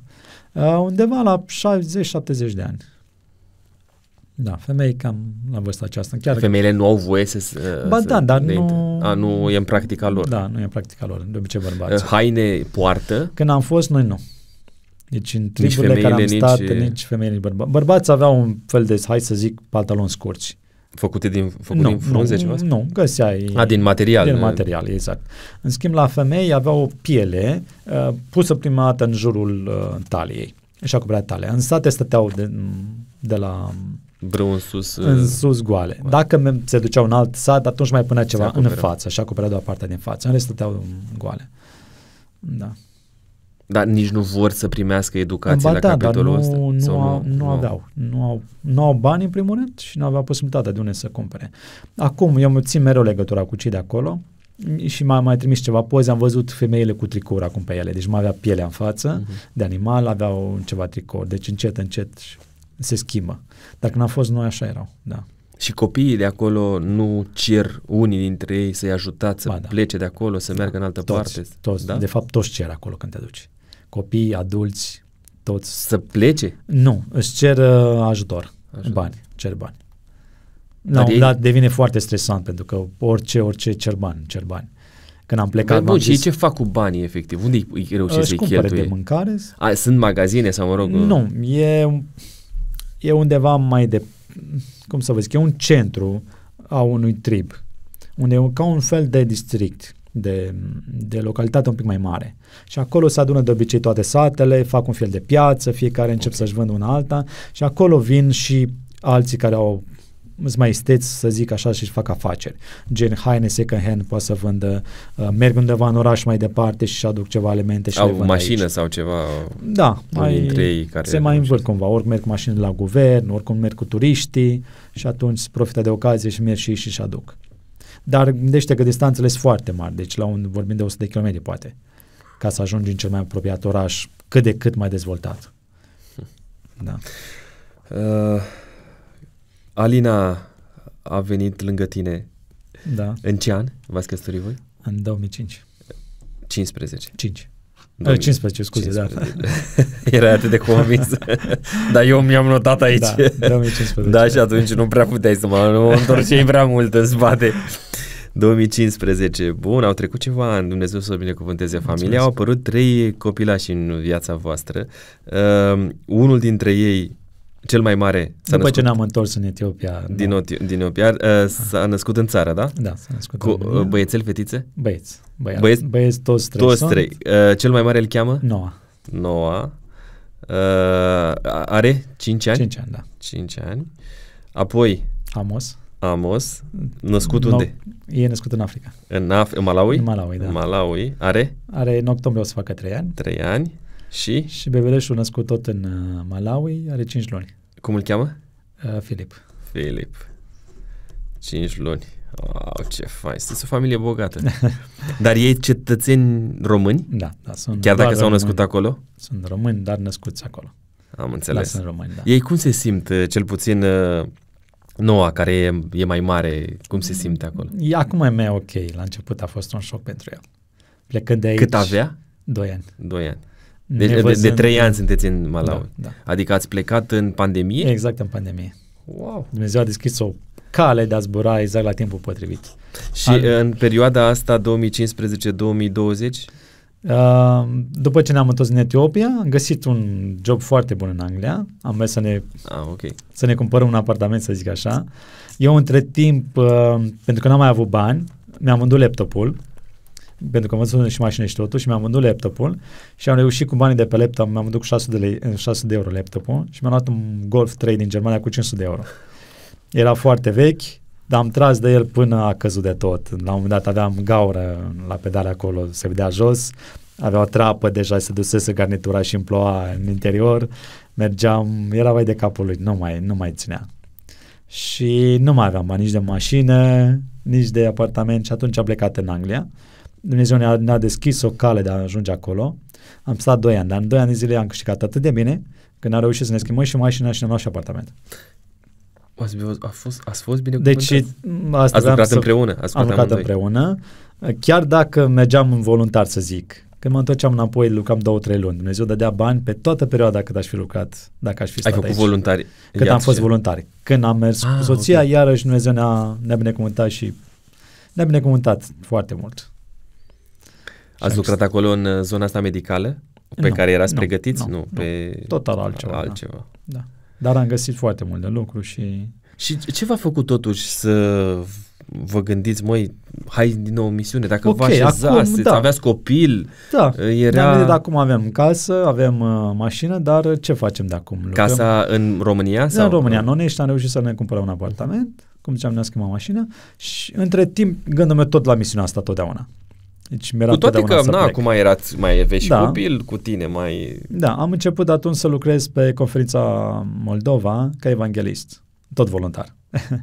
și atunci mergeam uh, ca și evanghelist în zonă, mergeam și ziua uneori la lucru ca să avem Stând cu ce în ne... casa voastră. Da, da, ca să avem cu ce ne întreține și plăti facturile și așa. Dar gândul meu era, eu mereu când mă rugam, mă rugam, Doamne, deschid o cale, eu vreau din nou să plec în misiune. Păi și în Anglia cât ai stat? Doi ani.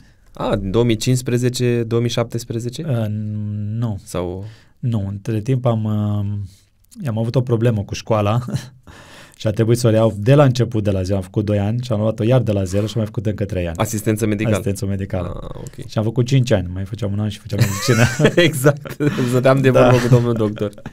da, Păi și n-ar fi atunci rău. am stat, m, uh, da, din Anglia ne-am întors, am stat în țară, am stat 2 ani Ca în să Anglia. termin uh, școala și... Exact, tot ce exact, trebuie. da. Da. Și Alina între timp a lucrat? Nu, între timp am făcut asistență medicală, Măi, măi. da. Dumnezeu chiar are grijă de voi. Și când am terminat asistența medicală, între timp a venit pandemia 2020, uh, am stat și ne-am gândit, ok, ce facem? Eram deja într-un apartament, eu crescut la țară, zic, mi se pare că stau cam pușcărie aici, sunt închis, trebuie să ies la, la magazin, dar îmi trebuie hârtie să dovedesc unde merg și așa mai departe. Zic, nu, hai să mergem la mine la, la casă. Și atunci am plecat la mine la casă la țară uh, și am zis, nu are rost să mai ducem la apartament. Hai stăm acasă la noi. Și am, am zis, ok, hai să punem un apartament de vânzare. Și am pus cu un preț. Zic, dacă Dumnezeu găsește, dacă e vorba de Dumnezeu să vină, vine cu banii ăștia, nu lăsăm nimic. N-a trecut mult timp, vreo, cred că o săptămână, două. Prima familie a venit, prima familie l-a cumpărat. și am vândut și apartamentul și după a venit invitația, ok, nu mergeți în Malawi? Am zis, ok, nu mai avem casă, de ce să nu mergem? Hai să mergem. Și era, era pandemie încă, nu erau zboruri. Alina deja era însăcinată cu al doilea copil. Iar în, mi-aduc aminte, era în septembrie 2020. S-a deschis doar luna septembrie o cale de zboruri. Au început zborurile cât de cât să miște un pic și am reușit să zburăm până să fac Alina șapte luni, că după șapte luni nu te mai lasă nici companiile să mai zbori. Și ne-am cadrat exact la timpul potrivit și am plecat în Malawi. Wow! Iar de atunci de trei ani suntem acolo și ne întoarcem. Uh, Reveniți în țară? Nu, ne întoarcem în A, vă Malawi. întoarceți în Malawi. Continuați. Da, continuăm. Um, Noah, Amos și Filip. Da. Ei sunt uh, copiii voștri, cumva... Eu, scuză-mă că te rog. Te rog. Eu mereu am o vorbă și uh, uitându-mă la ceea ce mi s-a întâmplat în urmă, nu? Cel mai sigur loc e locul unde Dumnezeu te cheamă. Mi-am amintesc la început, când am plecat, cei din biserică mi-au spus, ok, acum pleci, ai lăsat locul tău de muncă, ești tânăr, pleci fără bani, ești tânăr. Să vezi tu când o să te, cătu- o să te căsătorești, Că n-o se să mai- schimbă lucrurile, nu o să mai fie așa. Am plecat cu soția. A, alții ne-au spus, uite, sunteți tineri amândoi, puteți pleca, dacă nu o să vină copiii, nu o să mai fie așa. A venit copilul, am plecat împreună cu copilul, doi ni s-au născut acolo. Ce am, uh, ce am descoperit mai târziu? Că Dumnezeu unde cheamă, îți oferă cel mai sigur loc. Ce frumos! Nu contează unde te duci, El are grijă de tine. Băi, ai o credință extraordinară. Am plecat cu Dumnezeu. Mi-aduc aminte, m-am întâlnit cu niște misionari în, uh, aici în Malawi. La fel au și, ei- au și ei trei copii și când au plecat din Statele Unite, ei sunt din, în- din Statele Unite, li s-au zis, unde mergeți, Africa, e pericol, boli, se poate întâmpla orice cu copiii voștri. Și în timp ce mergeau spre aeroport, uh, a avut un tragic accident pe autostradă. Pentru ei a fost o confirmare că nu, poți, nu ești nicăieri în siguranță. Și în America poate să întâmple lucrurile și în Europa și oriunde. Cel mai sigur loc unde ești, unde Dumnezeu te cheamă. Adevărat, adevărat. Spui Și cuvinte privind mari. în urmă, a, plecând voluntar, acum avem asigurat. Acum e, sunteți angajați. Acum suntem angajați și suntem asigurat. Alina mi chiar mi-a zis, zice, specifică, că pe urmă se înțelege că e și acum suntem uh, tot voluntari. Acum Dumnezeu ne-a, ne-a... Sunteți amândoi angajați. Cineva, nu, doar uh, eu am fost, acum e doar soția. S-a transferat ea. Și, Și, și am intrat eu în uh, uh, postnatal. am înțeles. Da. Ok.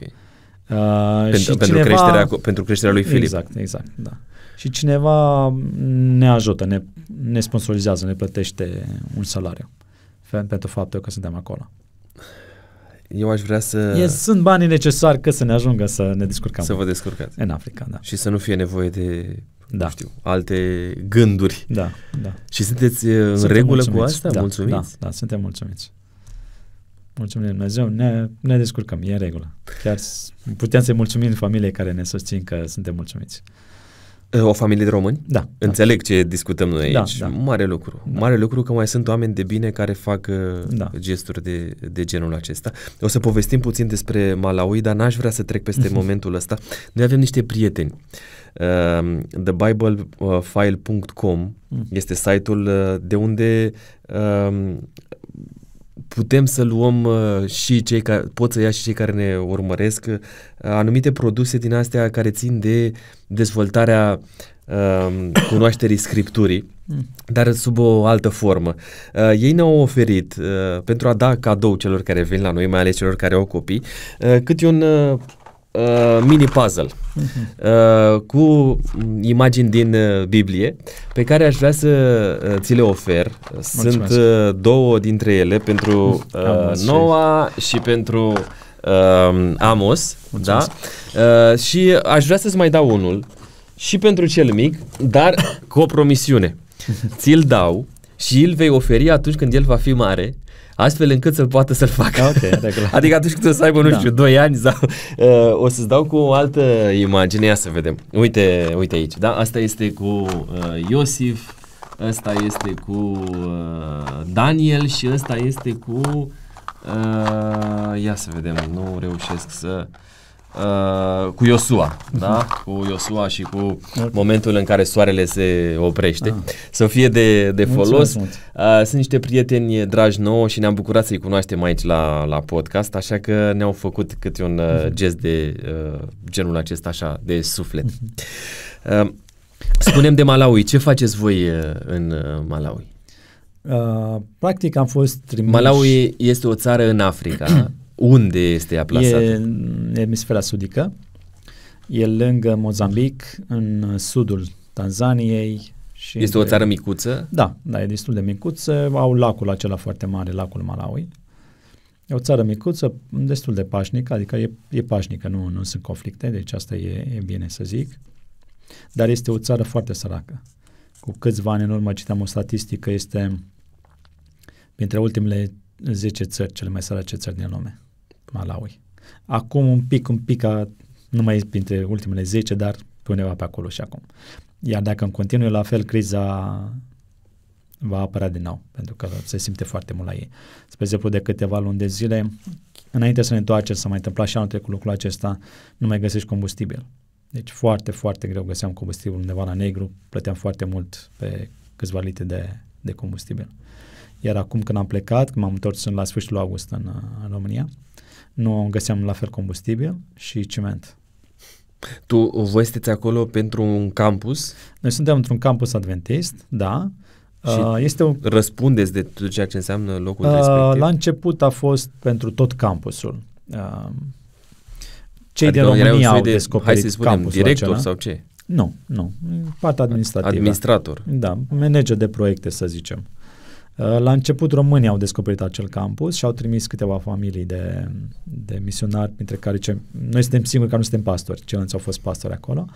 Uh, ei s-au ocupat cam de tot campusul, pentru că a fost mult, foarte mult de la construcții, la refacerea mm, clădirilor care erau acolo, la dezvoltarea școlii, dar între timp au făcut și o școală de meserie, pentru că este școală primară, gimnazială și liceu și s-au gândit, ok, pleacă de la liceu, dar unde merg? Ce fac mai departe? Și hai să învățăm o meserie și au, au redeschis, de fapt, la început asta a fost o școală de meserii. Au redeschis din nou școala de meserii. Iar eu am fost trimis doar pe partea de școli tehnice de meserii să ajutăm la dezvoltarea școlii. Deci nu mai am treabă cu liceul nici cu școala primară, dar fiind în campus acolo, vă dați seama că toți, tot la mine vin. Uite, vezi că s-a spart geamurile, s-a spart țeava, avem nevoie de transport, avem nevoie de aia. Deci tot cumva la noi ajung.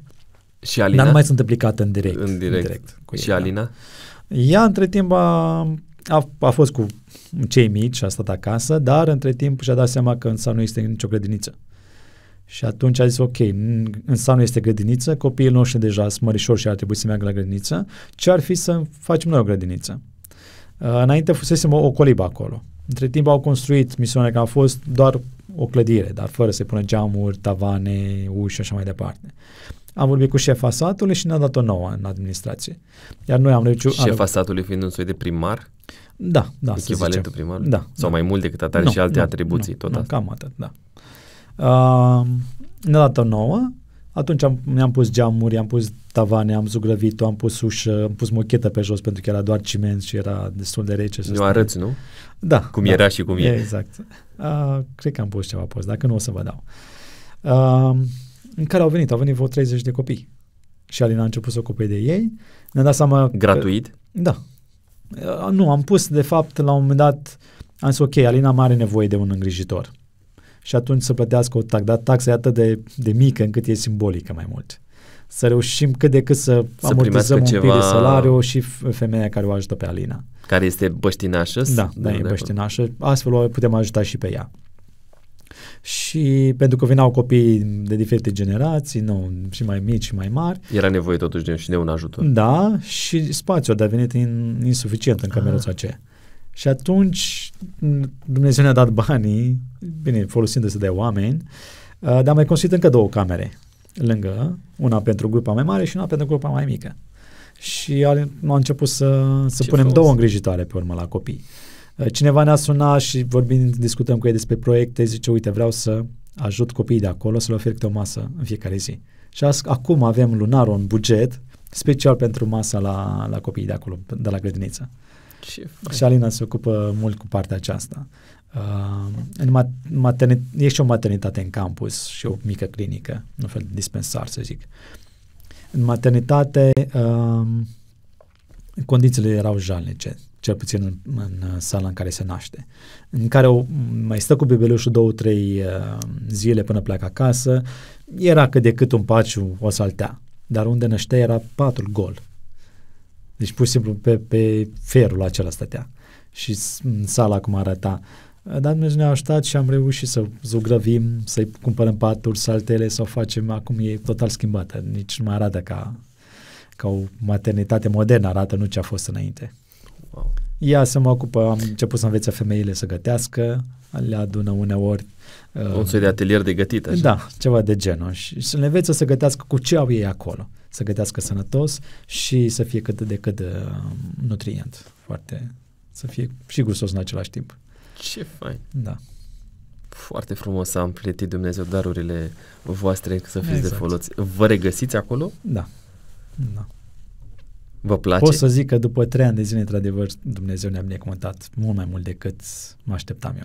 Și uh, aveți un contract perioade de lim- limitată? sau Am avut la stați? început, să zic așa, condiția a fost ok, minim 2 ani. Deci minim 2 ani, de acum puteți să stăm cât, cât vă de dorim. Da.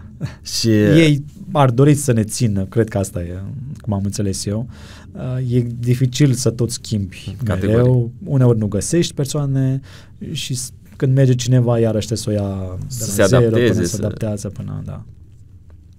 da. Iar scopul este să aducem școala la nivelul în care să se autosusțină. Uh, Mi-amintesc că erau când am mers acolo, fiind și pandemie și nu, circunstanțele așa erau, când am ajuns acolo erau doar 10 studenți și eu un singur curs de meserii. Mă gândeam, zic, Doamne, ce fac aici? E pandemie, donațiile sunt cum sunt, că nu mai vin. Școala are doar 10 studenți, când o să ajung eu să S-au dus la stadiul acela încât să se autosusțină. Dar după 3 ani de zile, mulțumesc Dumnezeu, avem 200 de studenți acum. 200 196 mai exact. Deci aproape 200. pe, pe zona ta. doar sau la școala to- tehnică. doar la școala doar la tehnică școala vorbim. tehnică vorbesc, da. Ne arăți poze și de Da, acolo, da? da. În timp și ce... avem patru cursuri acum, de croitorie, am făcut și mecanică auto, tehnicie auto și instalații sanitare. Ce fain. Da. Și tu coordonezi tot ce înseamnă Da, școala, la de școala acolo. tehnică, da. Și profesorii sunt din... uh, I-am, sunt localnici. sunt localnici. Da. Și am pus o taxă mică la studenți să plătească, să nu depindem tot timpul doar de donații, ci banii care îi colectăm de la taxe să reușim să plătim salariile profesorilor. Iar ce primim de la don- donații, să dezvoltăm alte proiecte plus campusul. Uh, Și uh, în tot campusul, câți uh, studenți sunt? Ele? Acum am mai scăzut un pic la liceu, dar într-un timp uh, și liceu avea vreo 300, școala m, primară și general undeva la 200, hai să zicem 500. Undeva pe acolo. Destul de mare. Și uh, cazarea, uh, ei stau acolo? Uh, liceul stă acolo și primește mâncare. Adra, România, am ținut legătura și cu ei și au făcut o, un proiect bun, bun. Le-au oferit celor de la liceu uh, orez, făină pentru pâine, făină albă pentru pâine. Le ofeream și astfel era cât mai, puțin mai diversificată hrana celor care au primit de la liceu de acolo. Iar la școala primară am, le cumpăram zahăr, aveau porumb ei și le făceam un fel de, de porridge, de ceva dulce mâncau dimineața de, de terci, să zic așa. Încă ce la școala primară, în fiecare zi primau și eu masă caldă. Venind, unii vin chiar 5 km poate până la școală. Și poate n-au mâncat când au plecat de acasă. Vin, stau câteva ori la școală, se întorc înapoi acasă. Aceea să pe mănânce. jos? Pe jos, da. Totul, toți merg pe jos acolo. Au transport. Și atunci, prin Adra, am reușit să le oferim câte o masă caldă și celor de la primare. Uh, cei de la, de la noi, de la De la școala școală tehnică, sunt cazați, dar nu reușim să le oferim și mâncarea. Și atunci ei îți gă- Se gătesc singuri. descurcă ei. Da. Avem două cămine care sunt full, full, full amândouă. Iar acum vrem să-l costum pe altul pentru că nu mai, nu mai avem spațiu să cazăm. Cam cât timp, uh, cât timp de fapt durează? Opt luni sunt 8 luni cursurile, șco- uh, cursurile 8 luni. Da, două Și semestre. sunt cu uh, diplomă la final, Da, da, recunoscută Da, și avem pot diplomă de, meargă de să guvern. muncesc. Acum lucrez la hârtiile cu guvernul să ne acrediteze școala. Și uh, voi primiți doar pe cei care sunt uh, simpatizanți sau uh, Nu. parte din Biserica Adventistă? Nu. Deci au venit din foarte, foarte multe religii. Musulmani, martori ale Jehova, prezbiterieni, pentecostali, foarte, cam de toate religii catolici. Le impuneți cumva Nu. Nu. Toți sunt liberi viziunea asta? să vină, sunt liberi. Sunt- Și la urmă sunt liberi să accepte sau nu. Eu, eu acum ofer în fiecare săptămână uh, studii biblice. Pentru cei care doresc. Nu, aici am pus condiții un pic. Ați venit la, o- la campusul nostru, la studii biblice stai uh, ca la orice alt curs. A, Să este zic un așa. curs dintre celelalte cursuri. Da, să zic așa, în care eu ofer studii biblice. Uh, m- acum, aparte, alții mi-au zis, uite, vreau să discutăm mai mult pentru că avem mai multe întrebări. Ce discut separat nu este obligatoriu. Deci acolo A, E un opțional. curs ca oricare alt curs. Cine vrea să aprofundeze Exact. uh, la nivel personal, Da, nimic da. mai mult. Da. Dar uh, avem experiențe frumoase, m- musulmani care s-au, uh, s-au predat viața Domnului, Domnului și s-au botezat. Recent au venit un grup din România, un grup de, de voluntari, au stat două săptămâni printre noi și s-au ținut și campanii de evangelizare în mai multe locuri, dintre care și unul la noi chiar în campus. Iar la urmă a venit de la, cred că a fost la fratele Laurențiu, dacă nu mai știu, Nistor, Sau la cat... Pastorul Laurențiu Nistu. Da, a venit la el. Nu mai știu dacă la el sau la altcineva. Oricum, ideea e că a venit la el și a spus, uite, fă poză cu haina mea de, de musulman pentru că este ultima oară când o mai port. De azi înainte am devenit creștin. Ce frumos. Da, și s-a botezat și devenit creștin. Și dacă aș vrea să vin și eu la tine în vizită, mă primești? Cu mare drag. Între timp s-au făcut cât de cât condiții, deci nu mai trăim într-o colibă. Avem chiar două case acum pentru musafir. De cine vrea să vină, are loc acum la noi. Și atent, facem și așa. condiții bune. facem așa un podcast cu Alina în Malawi. Perfect. Facem? Perfect. Fii atent, batem palma. Numai de să promis că vin în Malawi. Păi am ce să fac, am zis-o acum. Bine. Trebuie. Încercăm tot mai mult să, să organizăm grupuri să vină. Anul viitor avem promisiuni că vor veni, dar dacă vor veni mai mulți, cu atât mai bine. Asta ne încurajează uh, și Da. pe voi și pe noi, cei care am putea să, să fim acolo. Dacă cineva vrea să ajute în un fel sau altul, Mhm. ce faceți voi în Malawi? Cum ar putea să facă uh, gestul acesta? Ori Există am- un site? uh, Există Eu un... am, am reușit să creez un site, nu prea am eu timp să, nici nu prea știu ce drept să-l uh, gestionez foarte bine, dar este, da, este un Ni-l site, poți uh, uh, spune, poți să-l spui? Hop Cum se- message. hobmessage.com Da. Uh, O să-l treci și mine pe burtieră, mi-l dai, îl punem și în descriere pentru cei Da. care doresc uh, Numărul să de fie WhatsApp parte din... mă poate contacta. Da, și nu să putem să-l facem e-mail. public, că uh, cel mai bine. Da. Dacă ne dai o adresă de mail, atunci noi putem să o, să o Da. punem. Poți să ne zici adresa de mail? Da, este Reileanu Dani 3. E numele meu, Dani doar. Ileanu Dani, Dani 3, 3, da. arond, arondgmail.com. gmail. Ok, o să o punem noi în, uh, și în descriere Mhm. ca cei care vor să te contacteze să poată să, să-ți scrie Da. și apoi în privat le poți da numărul de telefon și tot ceea ce Exact. e nevoie. Dani, uh, tu ești uh, un tip practic. Uh, Noi avem o rubrică aici la podcast, se numește Da sau Nu. Am cel puțin două întrebări uh, din zona asta profesională uh, a ta și am să te întreb așa. Încălzirea în pardoseală este mai eficientă decât încălzirea prin uh, calorifere? Grea întrebare pentru că uh, pă- părerile sunt împărțite. Eu unul nu mi-aș pune în pardoseală. De ce? Uh, Cei care au, cu, ro- au probleme cu reumatismul se zice că nu e bine, nu e sănătos pentru ei și am înțeles că căldura degajându-se tot praful se ridică în aer și practic va pluti totdeauna aer în, uh, în încăpere. Praf va Praf. pluti în Uh, încăpere în și atunci încăpere, o să exact. te af- să afecteze plămânii, da, spui. da. Ok. În loc să se decanteze, el va pluti totdeauna în aer, praful. Uh, și a doua întrebare sună așa, cu cât prețul finisajelor este mai scump, cu atât ele sunt mai uh, de calitate? Uh, Nu neapărat. Sunt unii care nu fac calitate, dar cer prețul. Ai întâlnit asta în da, practica ta? Da. Dar uh, și, și cei care cer prețul, într-adevăr, fac și calitate, pentru că ș- știu ce fac și atunci și cer. Și uh, tu cum îți alegi materialele când vine vorba de uh, zona asta de finisaje? De unde le iei? Sau ai un brand? Știi, ții cont de ce ai mai lucrat înainte cu ele? sau? Da, eu am câteva produse, acum nu știu dacă putem face Putem reclamă. spune, sigur, că aici ne ajutăm, nu e altceva. Dacă tu ai să ne spui, uh, ne ajută. Eu de la Ceresit lucrez foarte mult cu, cu materiale de la Ceresit, la finisaje. Și uh, sunt și de calitate, probabil că Da, sunt și la și un bune. preț accesibil și Da, ajută nu știu asta. dacă sunt mai ieftine ca altele, sau nici foarte scumpe, dar sunt a- totuși accesibile, dar sunt uh, bune, sunt de calitate. Mulțumim frumos pentru sfaturile acestea. Uh, ai vorbit mult despre, uh, despre Dumnezeu și aș vrea să te provoc la un exercițiu de imaginație.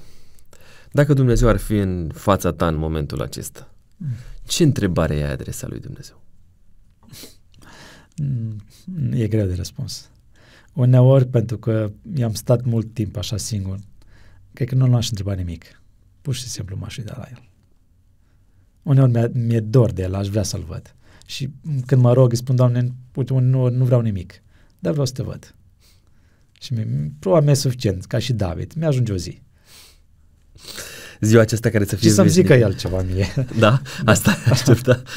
E doar să văd. L-ai întreba, oare n-ai ceva să-mi spui? Da, ceva de genul.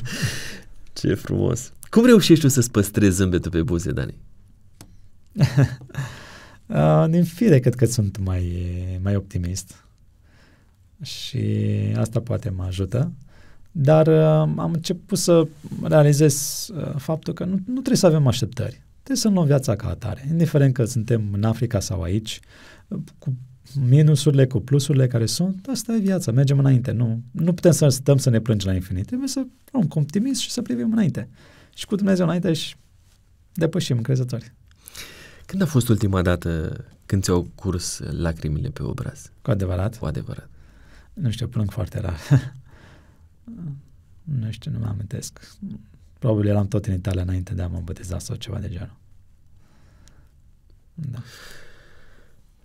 Ai, uh, Plâng în inima mea, dar nu cu lacrimi. crezi că este o vulnerabilitate asta? Nu știu să zic. Nu-mi dau.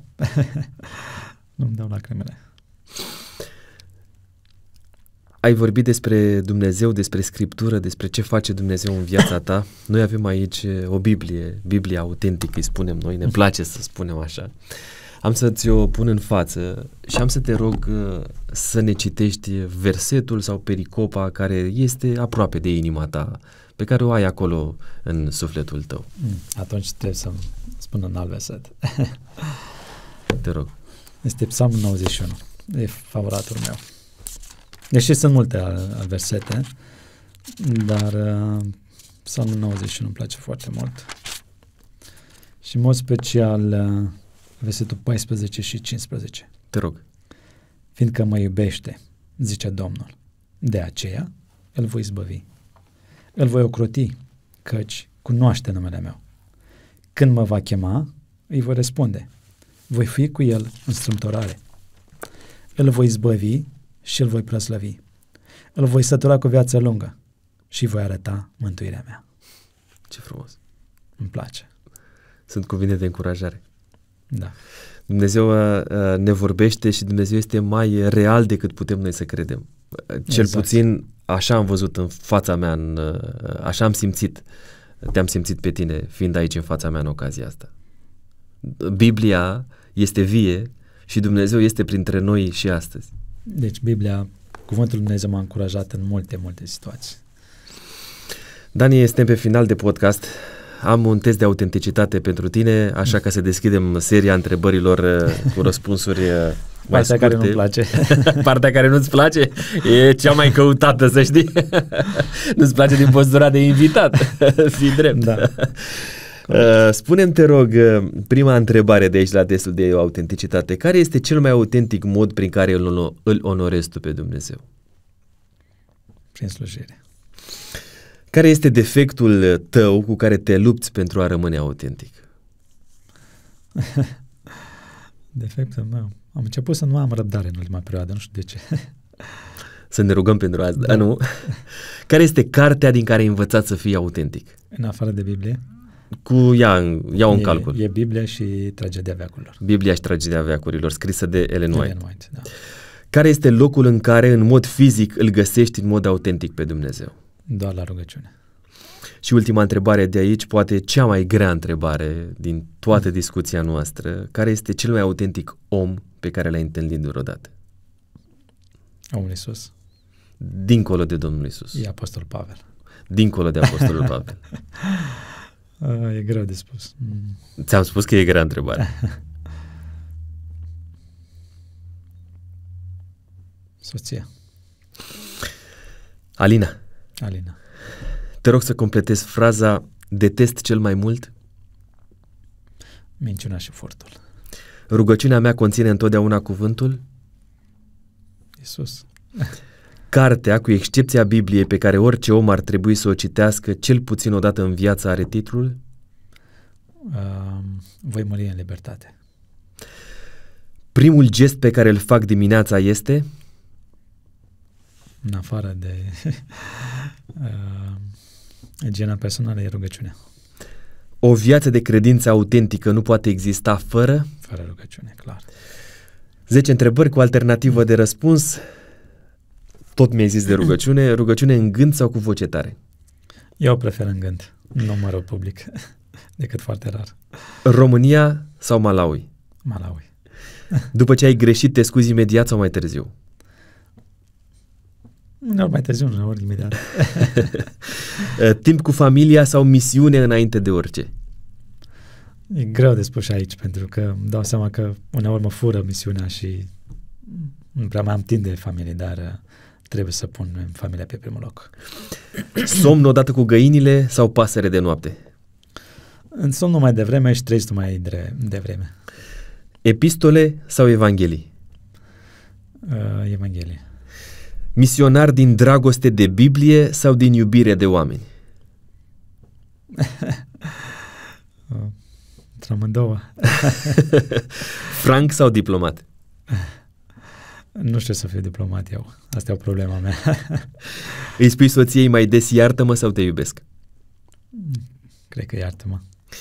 Insistent sau discret? Și, și... și, și depinde de context, de Da. situație, nu? Eu mi-am întrebat, mi-am terminat, uite, mi-am întrebat cu atât de întrebări, mi-am terminat uh, întrebările față de tine, dar uh, am o întrebare surpriză scrisă de cei care au stat înaintea ta pe scaunul Mhm. pe care ești tu, ești tu așezat acum. Te rog să extrage una din întrebări, să o citești și uh, să ne spui și răspunsul. Citește cu voce tare, te rog. Cât ai căsătorit, ai promis credincioșie pe vejicie până la moarte? Da. Este semnată cumva întrebarea? Nu. Nu are o semnătură. Ai Ba da, promis? are- are o are semnătură. semnătură? Are o semnătură. Și crezi că o, pot, o poți recunoaște? Uh, Nu? nu, nu. A, nici eu nu recunosc semnătura. Poate o recunoaște cel care, ne-a, a, care a scris-o și ne spune lucrul acesta în uh, comentarii. uh, bun. Uh, deci, care e răspunsul? Da, da, așa Da? este. Am spus până la Dincolo de moarte. Da. Uh, momentul acesta, veșnicia să fie împreună. Așa Da. să te ajute Dumnezeu și să nu Mulțumesc. intervine nimic între voi. Uite-te tu că în ultima perioadă, din ce în ce mai multe familii, din păcate, Da. se destramă. Din diferite motive. Exact. Uh, pot și mi-asum ce zic acum, cel rău satana atacă din ce în ce mai mult la capitolul acesta Da. al familiei. Și acolo unde nu te aștepți.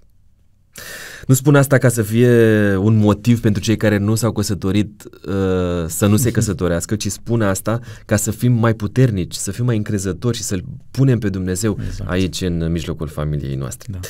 Am să te rog și pe tine să scrii o întrebare, iar uh, momentul acesta vine și cu un cadou. Uh, Acest pix uh, autentic pe care ți-l ofer cu toată dragostea, Așa. ca atunci când vei scrie documentele către guvernul din Malawi și semnătura pe care o vei oferi acolo pe documentele respective pentru autorizarea școlii să fie semnate cu pixul acesta, promiți? Ok, promit. Promiți? Bine. Promit. Te rog să scrii și tu întrebarea. Aici este pixul. Acum sau... Acum scrie, așteptăm cu mare drag uh, Uh, uh, timpul în care vei scrie fără niciun fel de opreliște. Ne scălem. Te rog. Semnătura ta. Super. Mulțumesc frumos, te rog să o împachetezi, să o pui uh, în bol și uh, între timp trebuie să spun că noi aici la Autentic mai avem niște prieteni, prietenii noștri dragi de la editura Viață și Sănătate. Uh, De fiecare dată ne oferă câte un uh, cadou, așa că în ocazia aceasta, o carte bineînțeles, că ei cu asta se ocupă, în ocazia aceasta am să te rog să alegi una dintre cele două cărți, uh, tablete de stil de viață, sănătatea nu este totul, dar fără sănătate totul este nimic, sau uh, îndrăznește să trăiești, uh, sunt uh, niște sfaturi concrete de la Melody Mason legate de felul în care trebuie să arate viața noastră spirituală. o alegi pe asta. O alegi pe cealaltă o aceasta, am. pe aceasta o ai. Îți mulțumesc uh, frumos, Dani, pentru ocazia aceasta. Dumnezeu să te Mulțumesc și eu. binecuvânteze în tot ceea ce faci tu, alături de familia ta, să rămâneți autentici în relația cu Dumnezeu și mai ales să fiți autentici pentru ceilalți, pentru că așa reușesc ei să-L vadă cu adevărat pe Hristos. Mulțumesc și vezi că eu nu uit prea ușor, așa că... Nu uiți, nu? Ținem aproape Ținem. și Ne vedem nu în se știe Africa. niciodată cum uh, luăm uh, studioul de aici și îl ducem uh, în Malawi pentru a înregistra acolo câteva podcasturi uh, speciale și a fi de folos pentru oamenii din uh, zona Da. respectivă. Aș dori să-ți mai strâng o dată mâna, Dumnezeu să te binecuvânteze în tot Mulțumesc uh, tare ce mult. faceți și mai ales în uh, slujirea Domnul și cu- dedicarea. Și cu uh, tine în dedicarea slujirea care o voastră. faci aici. Mulțumesc frumos! Vă mulțumesc și vouă pentru că ați fost alături de noi un podcast depus acolo, o spun din ce în ce mai des, în uh, biblioteca voastră virtuală, să reveniți la, ea, la el ori de câte ori uh, veți avea nevoie de o doză de optimism, de o doză de a înțelege că Dumnezeu este la cârma uh, vieții fiecăruia dintre noi. Mulțumesc încă o dată pentru oportunitatea pe care ne-o oferiți de a fi în casele voastre sub o formă sau alta, că ne ascultați sau că uh, ne priviți. Toate acestea acestea pentru a arăta ce înseamnă cu adevărat autenticitatea. Mulțumim încă o dată Dumnezeu cu noi până când ne vom revedea.